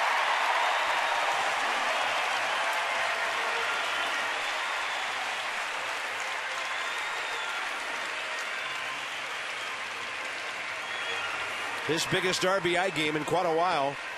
And Adam now has 39 RBIs. And give Lombardozzi half an RBI in that one for being heads up, getting into scoring position. And give Trent Jewett a little bit of credit on the back end right there. Bryce Harper went to tag up. He told him to go halfway. If he tags up right there and gets thrown out at second base, Andres Torres has a big arm in center field. That run doesn't count. So heads up play all over the place on the bases right now for the Nats. Nice job. Byrdak is done. This call to the bullpen brought to you by Chevrolet and their award winning cars, trucks, and crossovers.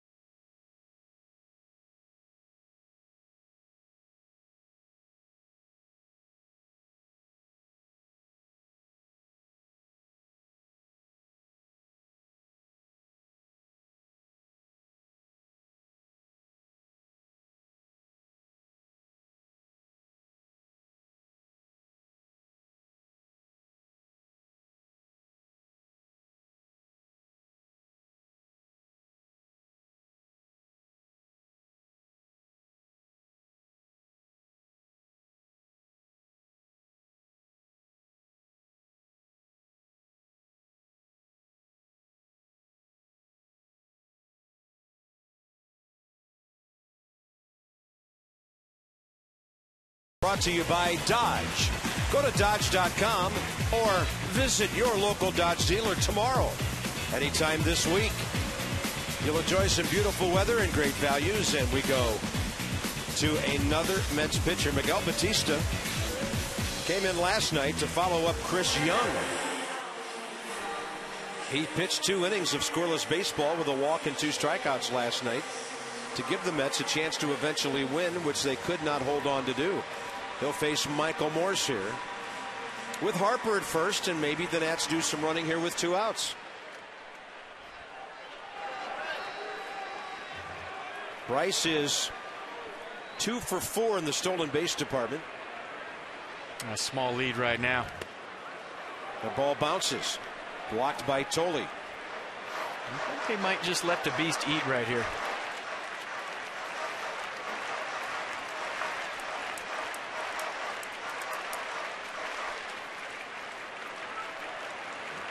Well, lead off walk costly to the Mets here. A bigger lead for Harper.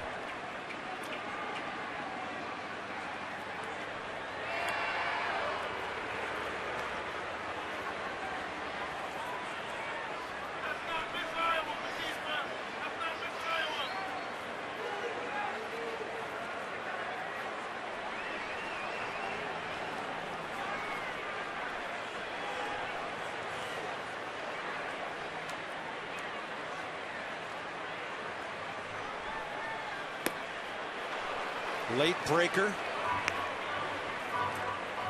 Yeah, Batista, four pitch guy. Fastball, cutter, curveball, change. Might have been a cutter right there at 86 miles an hour.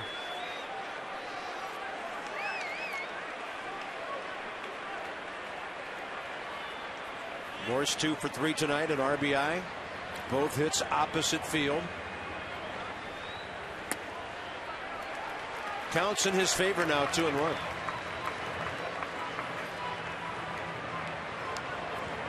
He's looking for up something up in the zone that he can drive in a 2-1 count. Everything from Miguel Batista starts about knee high. If it starts there, it's going to go down. You're looking for something belt high that you can drive. All four of his pitches, if they start low, they're going to be out of the zone.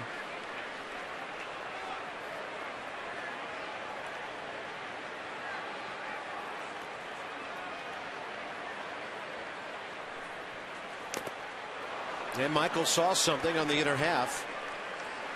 And the foul tip right over the top of it, two and two.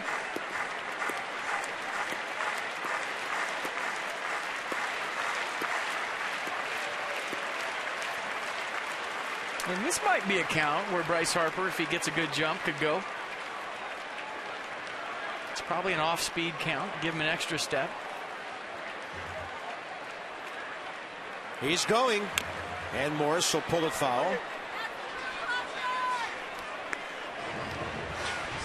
Check out Michael Morse's two hits tonight. Head down, going the other way. That ball was smoked. Then how about this one right here? I don't think you can hit a ball any harder on the ground. I think Davis might have flashbacks of that one tonight in his hotel room.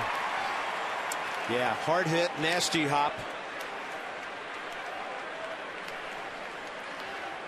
By the way, when Zimmerman, LaRoche, and Morse got those hits in the fifth, every one of them was 0-2 in the count before those base hits. Huge lead for Harper.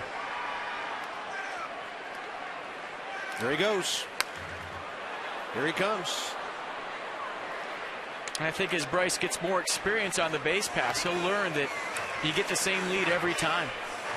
Good base stealers look like they're going every single pitch. They get the same exact lead every single time because if you get a bigger lead one time than the other, you're telling the other team, I'm going. But if you get the same lead, whether it's big or small, every single time, they can't figure out when you're going. And you got a better chance to steal the base. They won't throw over, they won't pitch out.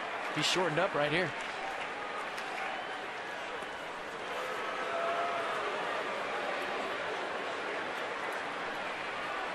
R.A. Dickey, who the Nats have beaten four out of six times in his career, but he's 8 and 1 this year against Chien-Ming Wang tomorrow.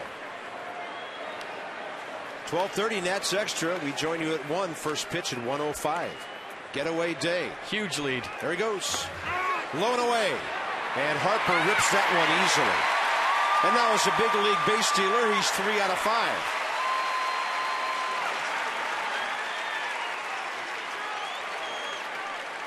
Nats with their 29th of the year. Not the best jump in the world, but he outran it. You see him looking back right there. Miguel Batista very deliberate to the plate, very slow to the plate.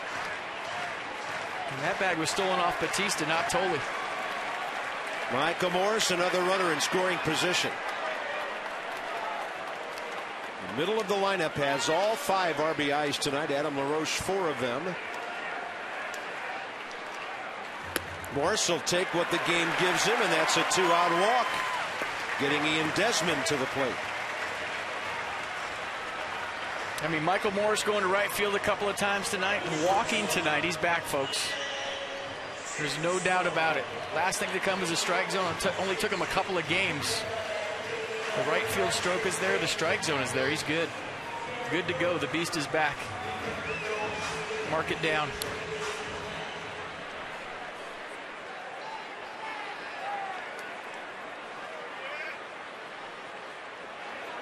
Ian Desmond 0 for 3. Last night was his night. Of course, he was 0 for 3 last night before he exploded.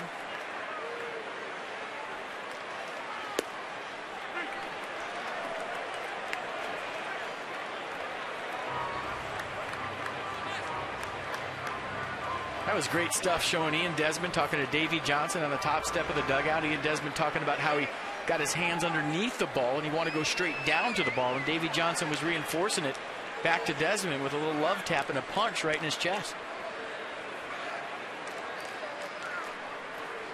Showing him that if you're going to punch somebody, that's how you do it. Not underhand like this, but getting on top.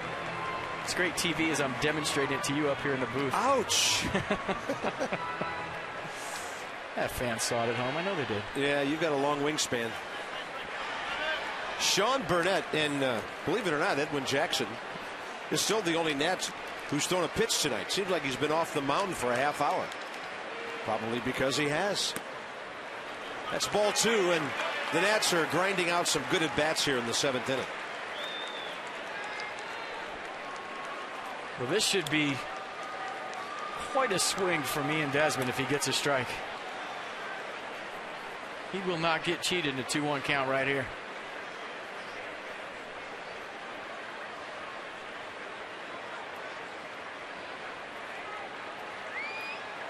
Eight home runs, 26 RBIs on the year.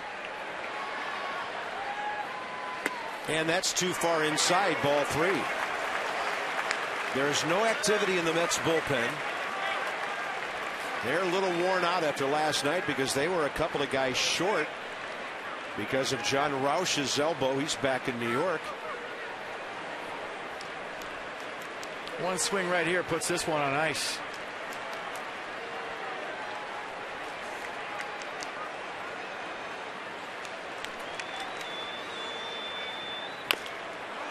Andy and Desmond takes a foul ball off his lower body for the second time tonight.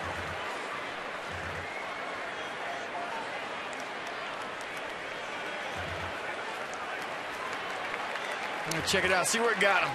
This was squared up, too. Right on the instep. And that does not feel good. That takes a minute to get the feeling back there.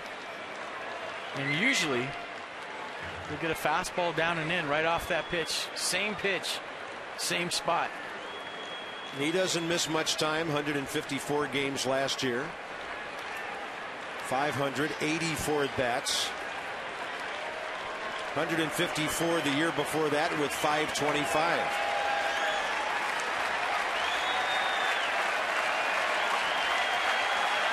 Start him up. 3 2 runners on the move. Just got a piece of it.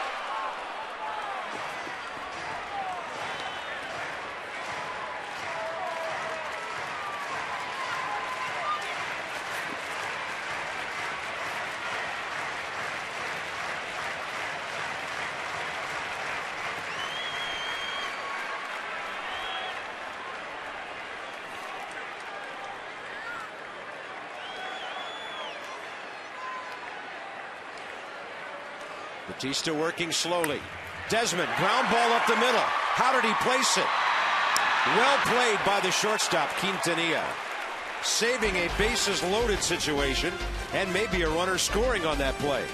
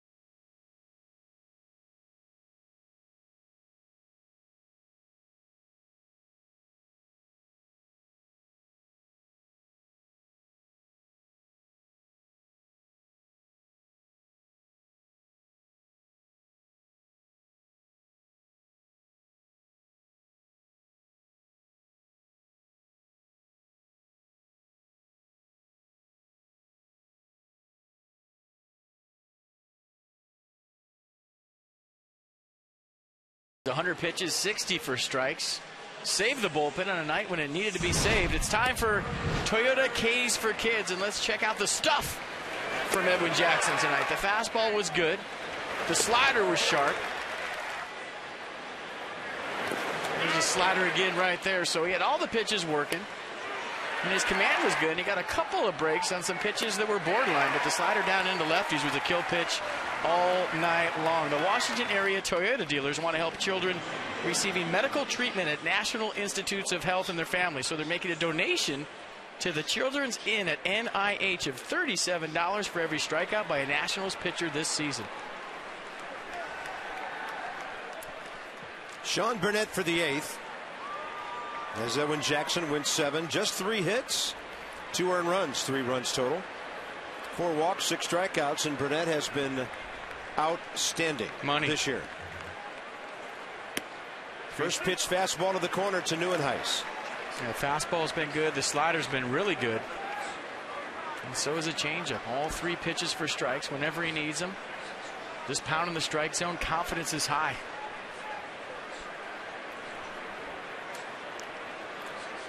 It's Scott Hairston for Nieuwenhuis here. He's been kind of their effective late game guy.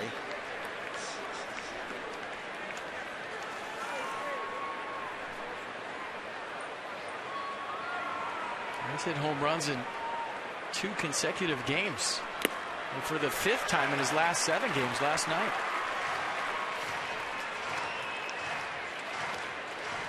Yeah, he was busy last evening. Eighth inning walk, scored a run. Tenth inning single, a steal, scored a run. Twelfth inning home run. But the Nats countered with two in the bottom, and here's a one-two from Burnett. Swing and a miss on a good tailing fastball. Seventh strikeout by Nats pitching tonight. As it's a fastball on the outer half. We talked about it with Hairston last night. Dead pull hitter likes the ball close to him. Good pitch from Burnett. You see the sequence right there on the Jose Cuervo Exmo. Just a two seam fastball away and everything to Hairston in that at bat away, and he had no shot. Andres Torres, Steve McCatty said today, and he, he has said this on a number of occasions. When it gets late in the ball game, if you're going to beat one of my guys, I want you to have to beat me away. And then as a bonus, he got the strikeout right there. It drives Cat crazy when a pitcher gives a hitter, like the Nats did with Hairston last night, something he can pull late in the game. Especially he represents the tying run or the go-ahead run. All good closers, all good late inning relief guys. Make it beat him the other way to the big part of the ballpark. Very rarely do you see a good closer challenge the inner half of the plate when the guy has power and he represents either the tying run or the go-ahead run. Every once in a while you do it for effect, move his feet just to get him off your outside stuff. But all the good closers in history live on the outer half of the plate. Bouncer, one hop, Zimmerman. Adam LaRoche waits for a belt high throw, two outs. For starting lineups, in game updates, and Nats team coverage you can't afford to miss, sign up for MASN mobile alerts by texting Nationals to 29292. Now, I'm not that phone savvy, but I do have those alerts, and they're kind of interesting to see the things that come across during the game.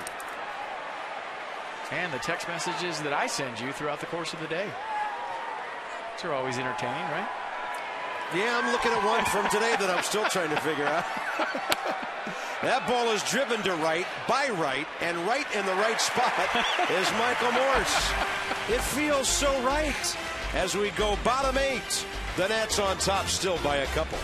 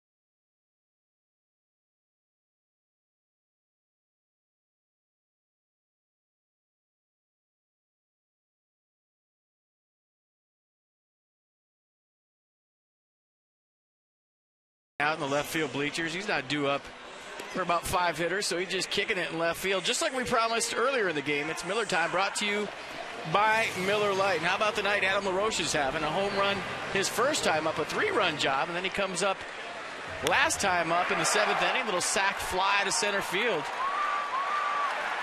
And that scores Steve Lombardozzi with a hustle heads up play to get into scoring position. LaRoche goes down in the dugout, and I guarantee you he's looking for Lombardozzi to give him some love for getting to third base right there and getting him an RBI. That's good stuff, guys. Bottom eight, Danny Espinosa, Jesus Flores, Scott Hairston replacing uh, Nieuwenhuis in left field.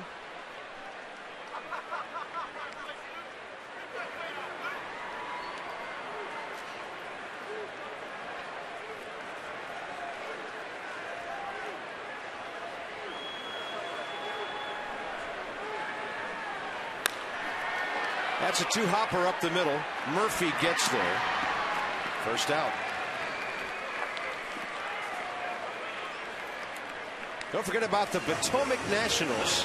They face the Salem Red Sox. How about the Nats and the Red Sox on a couple levels this weekend?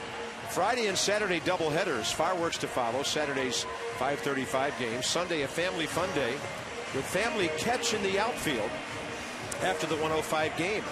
703-590-2311 for more info. PotomacNationals.com. I love that family catch day. You throw the kids to each other? No, come on. Is that that old line from Field of Dreams? Hey, Dad, Oh, want to have a catch? you play catch in the outfield. I thought you, you threw the kids back and forth from mom and dad. And a base hit for Jesus Flores. He wasn't going to go an entire game without a hit, was he? He's now hit safely in 12 of his last 13 games. That'll set things up for the pinch hitter, Roger Bernadina. And what a job Bernadina's done off the bench for Davey Johnson. It seems like every time he comes up there in a big situation, in a pinch hit situation, he comes through, whether it's a walk, whether it's a hard hit baseball, whether it's a sacrifice bunt.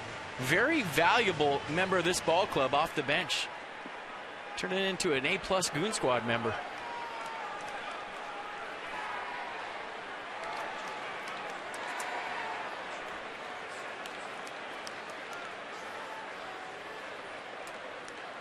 Batista with a long look and Bernadina taking a fastball up. Three of eight with an RBI as a pinch hitter. Tyler Clippard for the save. At least for now, the Nats are up by two. They could go beyond that.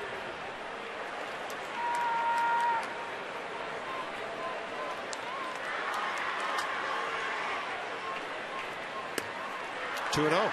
The only bad thing about what Roger Bernadina is doing off the bench is guess what? You come back to the dugout and guys say, guess what you are now? A pinch hitter. Yeah. Because you're doing it so well. A lot of times managers don't want to start guys like that because now they become so valuable, a valuable piece off the bench.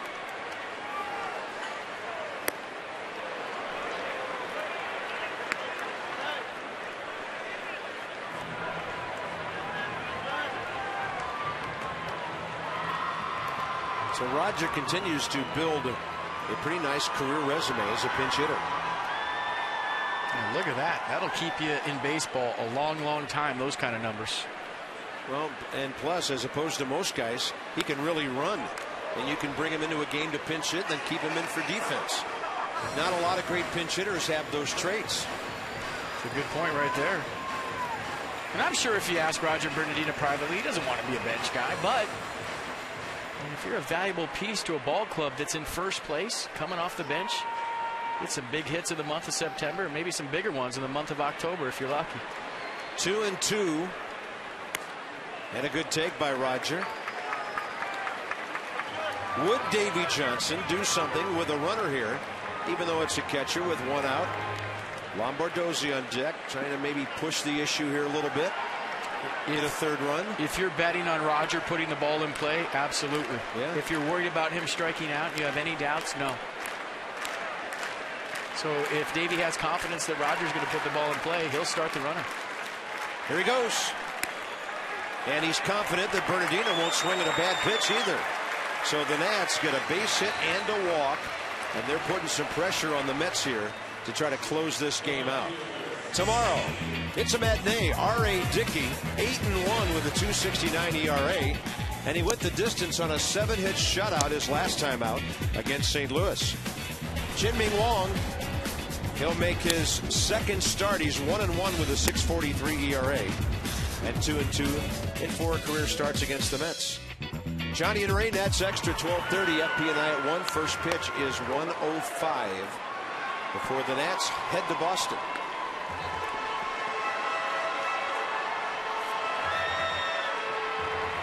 By the way, notable that Jesus Flores now also has an eight-game hitting streak. His career high is nine back in 08. He might have tomorrow off.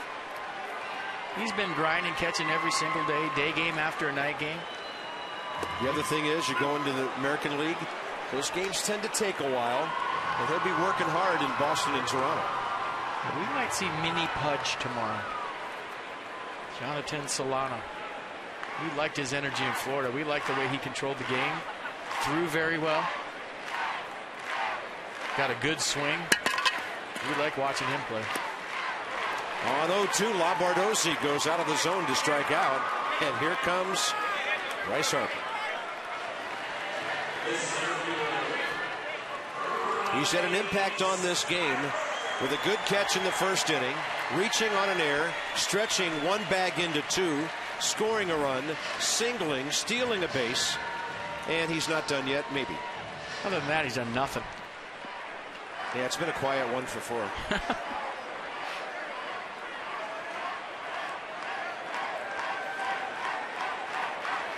We used to talk about with Michael Morse last year, it was must see TV every at bat, and I think the same applies for Bryce this year. Whatever you're doing at home, you stop, you sit down, and you watch the at bat, regardless of the score, regardless of the situation. You want to see this guy hit. And the other thing is, you can't really play any kind of shift on Bryce Harper now because he's going to left and left center so well. He wants that one back. He got a cookie right down the middle from Miguel Batista and fouled it straight back. He was on it, and that might be the last fastball he sees in this AB.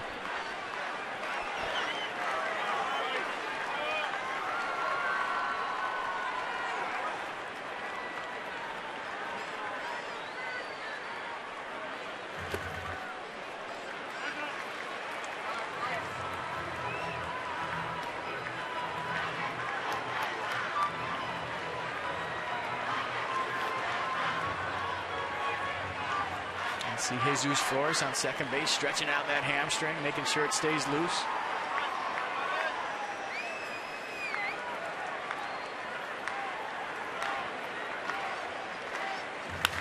Harper, left field. It's going to carry to the sliding Scott Hairston. Well, the Nats came close. So here we go, top of the ninth. Clippard is on to try to save this one.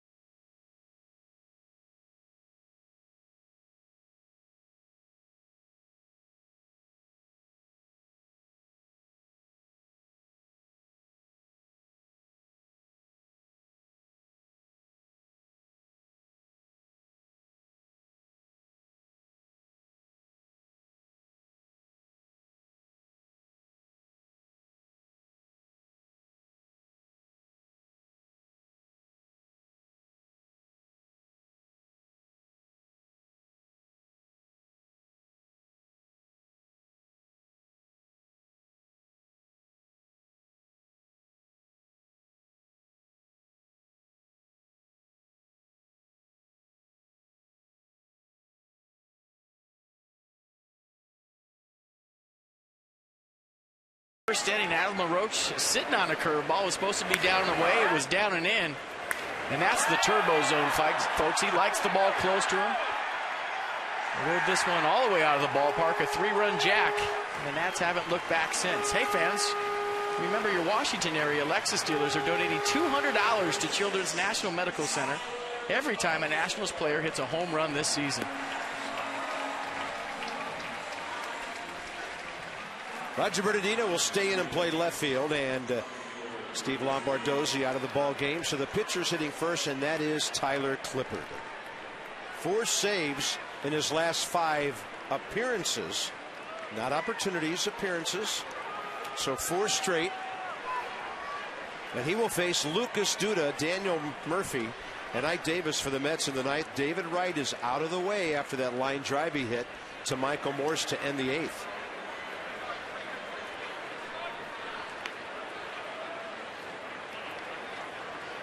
Lucas Duda asking for a new baseball right there. The throw down to second base between innings from Jesus Flores to Danny Espinosa hit the dirt. And hitters will look for that. If a ball hits the dirt on the throw down to second, they'll ask for a new baseball because they don't want to scuff baseball in a pitcher's hand. You don't think a catcher would do that on purpose, do you? Sometimes, yeah, that's why you have to pay attention in the on deck circle when you're leading off an inning. I always used to watch the throw down to second base. If it bounced, you ask for a new baseball. Nice. Changeup, he gets the call at the knees. One ball, one strike. That's important for Tyler to get that from Wally Bell. Duda 0 for 2 with an RBI grounder, a walk.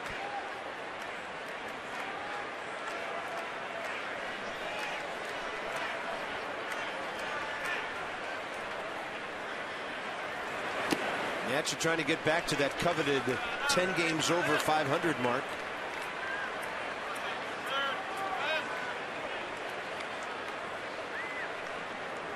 Phillies are trailing at home in the eighth, five to four. Atlanta has beaten the Marlins in Miami, two to one. Two one pitch. Fastball just missing. And one thing we learned from the Mets last night, we've seen from them all season long, is they're not going away. They don't roll over for anybody.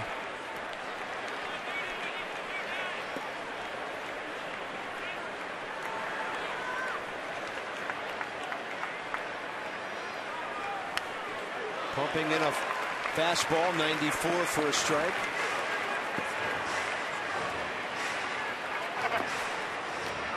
So important to retire the first man. Absolutely so important to go right after the first man.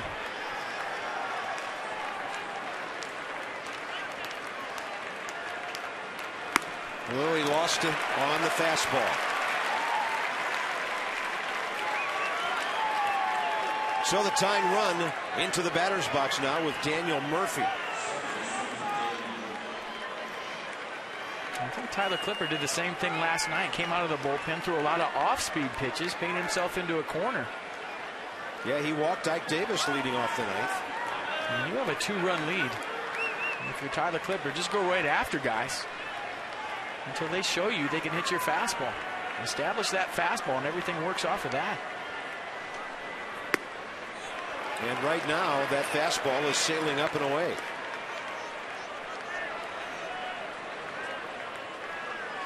So as a hitter, you might think he's going to throw some sort of touch pitch to get himself back into the strike zone here.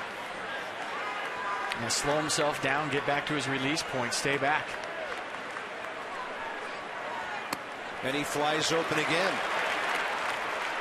A good trip by Flores right here. He saw something. He's going to tell him. You're flying open. Keep your front side closed. Whatever it is, Jesus Flores is a coach on the field.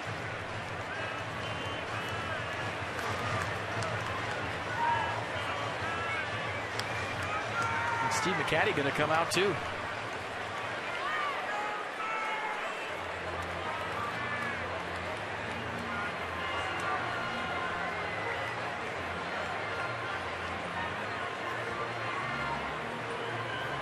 Guarantee you, whatever Jesus Flores said, Steve McCatty's probably saying pretty close to the same thing. Even all stars have to be reminded of basic things. It's something mechanical, something to do with the release point, maybe flying a little bit.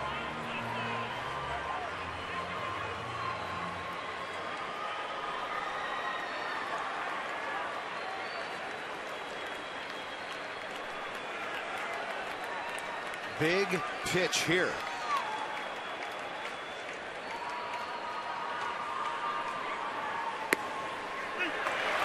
Maybe gets a bit of a break on a fastball that was a little bit up and away. A break, but Wally Bell's been out there all night long. yeah, he got a break. He's been wide away to left-handers all night. So the zone is consistent. Both teams know that, and you got to protect that with two strikes especially.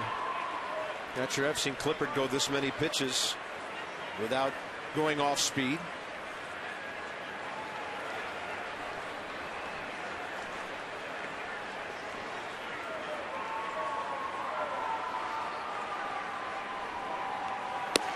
That is right in there. Another fastball. And the count's back even. And Tyler Clippard's such a smart pitcher, and you tell him one thing, he puts it right to use. Steve McCatty goes out there, tuned him up, fixed him. You see the results, two strikes in a row with the fastball.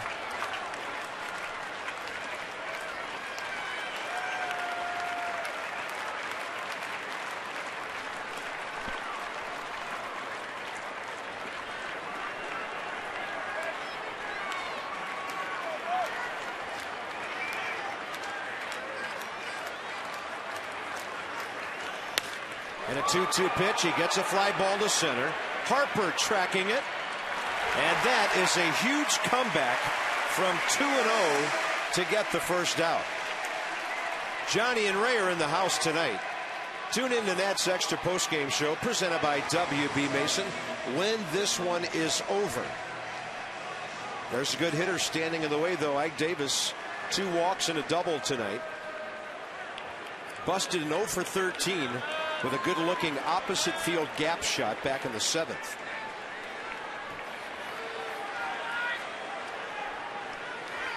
Ike Davis has hit into four double plays this year. Good fastball hitter. So we'll see if he switches to some off speed here. First pitch changeup. Had him on ahead. This could do it. Desmond! And the ball gets away from LaRoche. The runner will go to second. They'll have to give Ian Desmond an error. And the Nats came within a few inches of ending the game. 4-6 E6. I thought you called it, Carp. Little 4-6. And in the three part, Desmond got hung up. I think he tried to baby that throw over there, getting wide. Kind of went with the throw and he pulled it.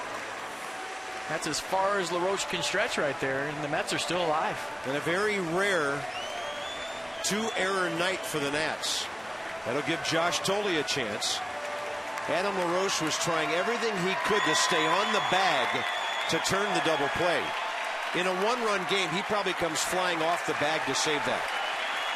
To save you 90 feet. Absolutely. It still boils down to the pitcher and the batter now.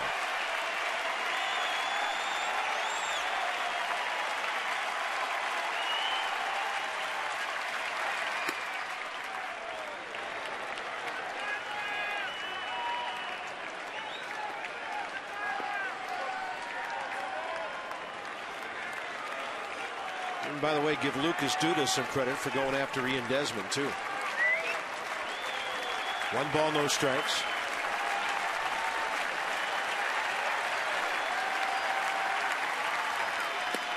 Clippard delivers outside corner. Counts even. Starting to really locate that fastball better now. If you got your pinpoint command on, and your Jesus Flores and Tyler Clippard, you could expand that zone away right now. Wally Bell's given a good couple of inches on the outer half. He's been doing it all night. Looks like they're going to try to go there again. That's a changeup. Well hit to right. Michael is there. The Nats will be in a position to sweep tomorrow. And they get Edwin Jackson a badly needed win on Tyler Clippard's fifth save of the year. And just a great night for Edwin Jackson. A night when he needed to go deep into a ball game. His team used a whole bullpen the night before. He went out and pitched seven strong innings. And you got to tip your cap. Just another big win for the Nats, another big series win for the Nationals. Now they've beaten the Mets four out of five this year and eight of the last nine.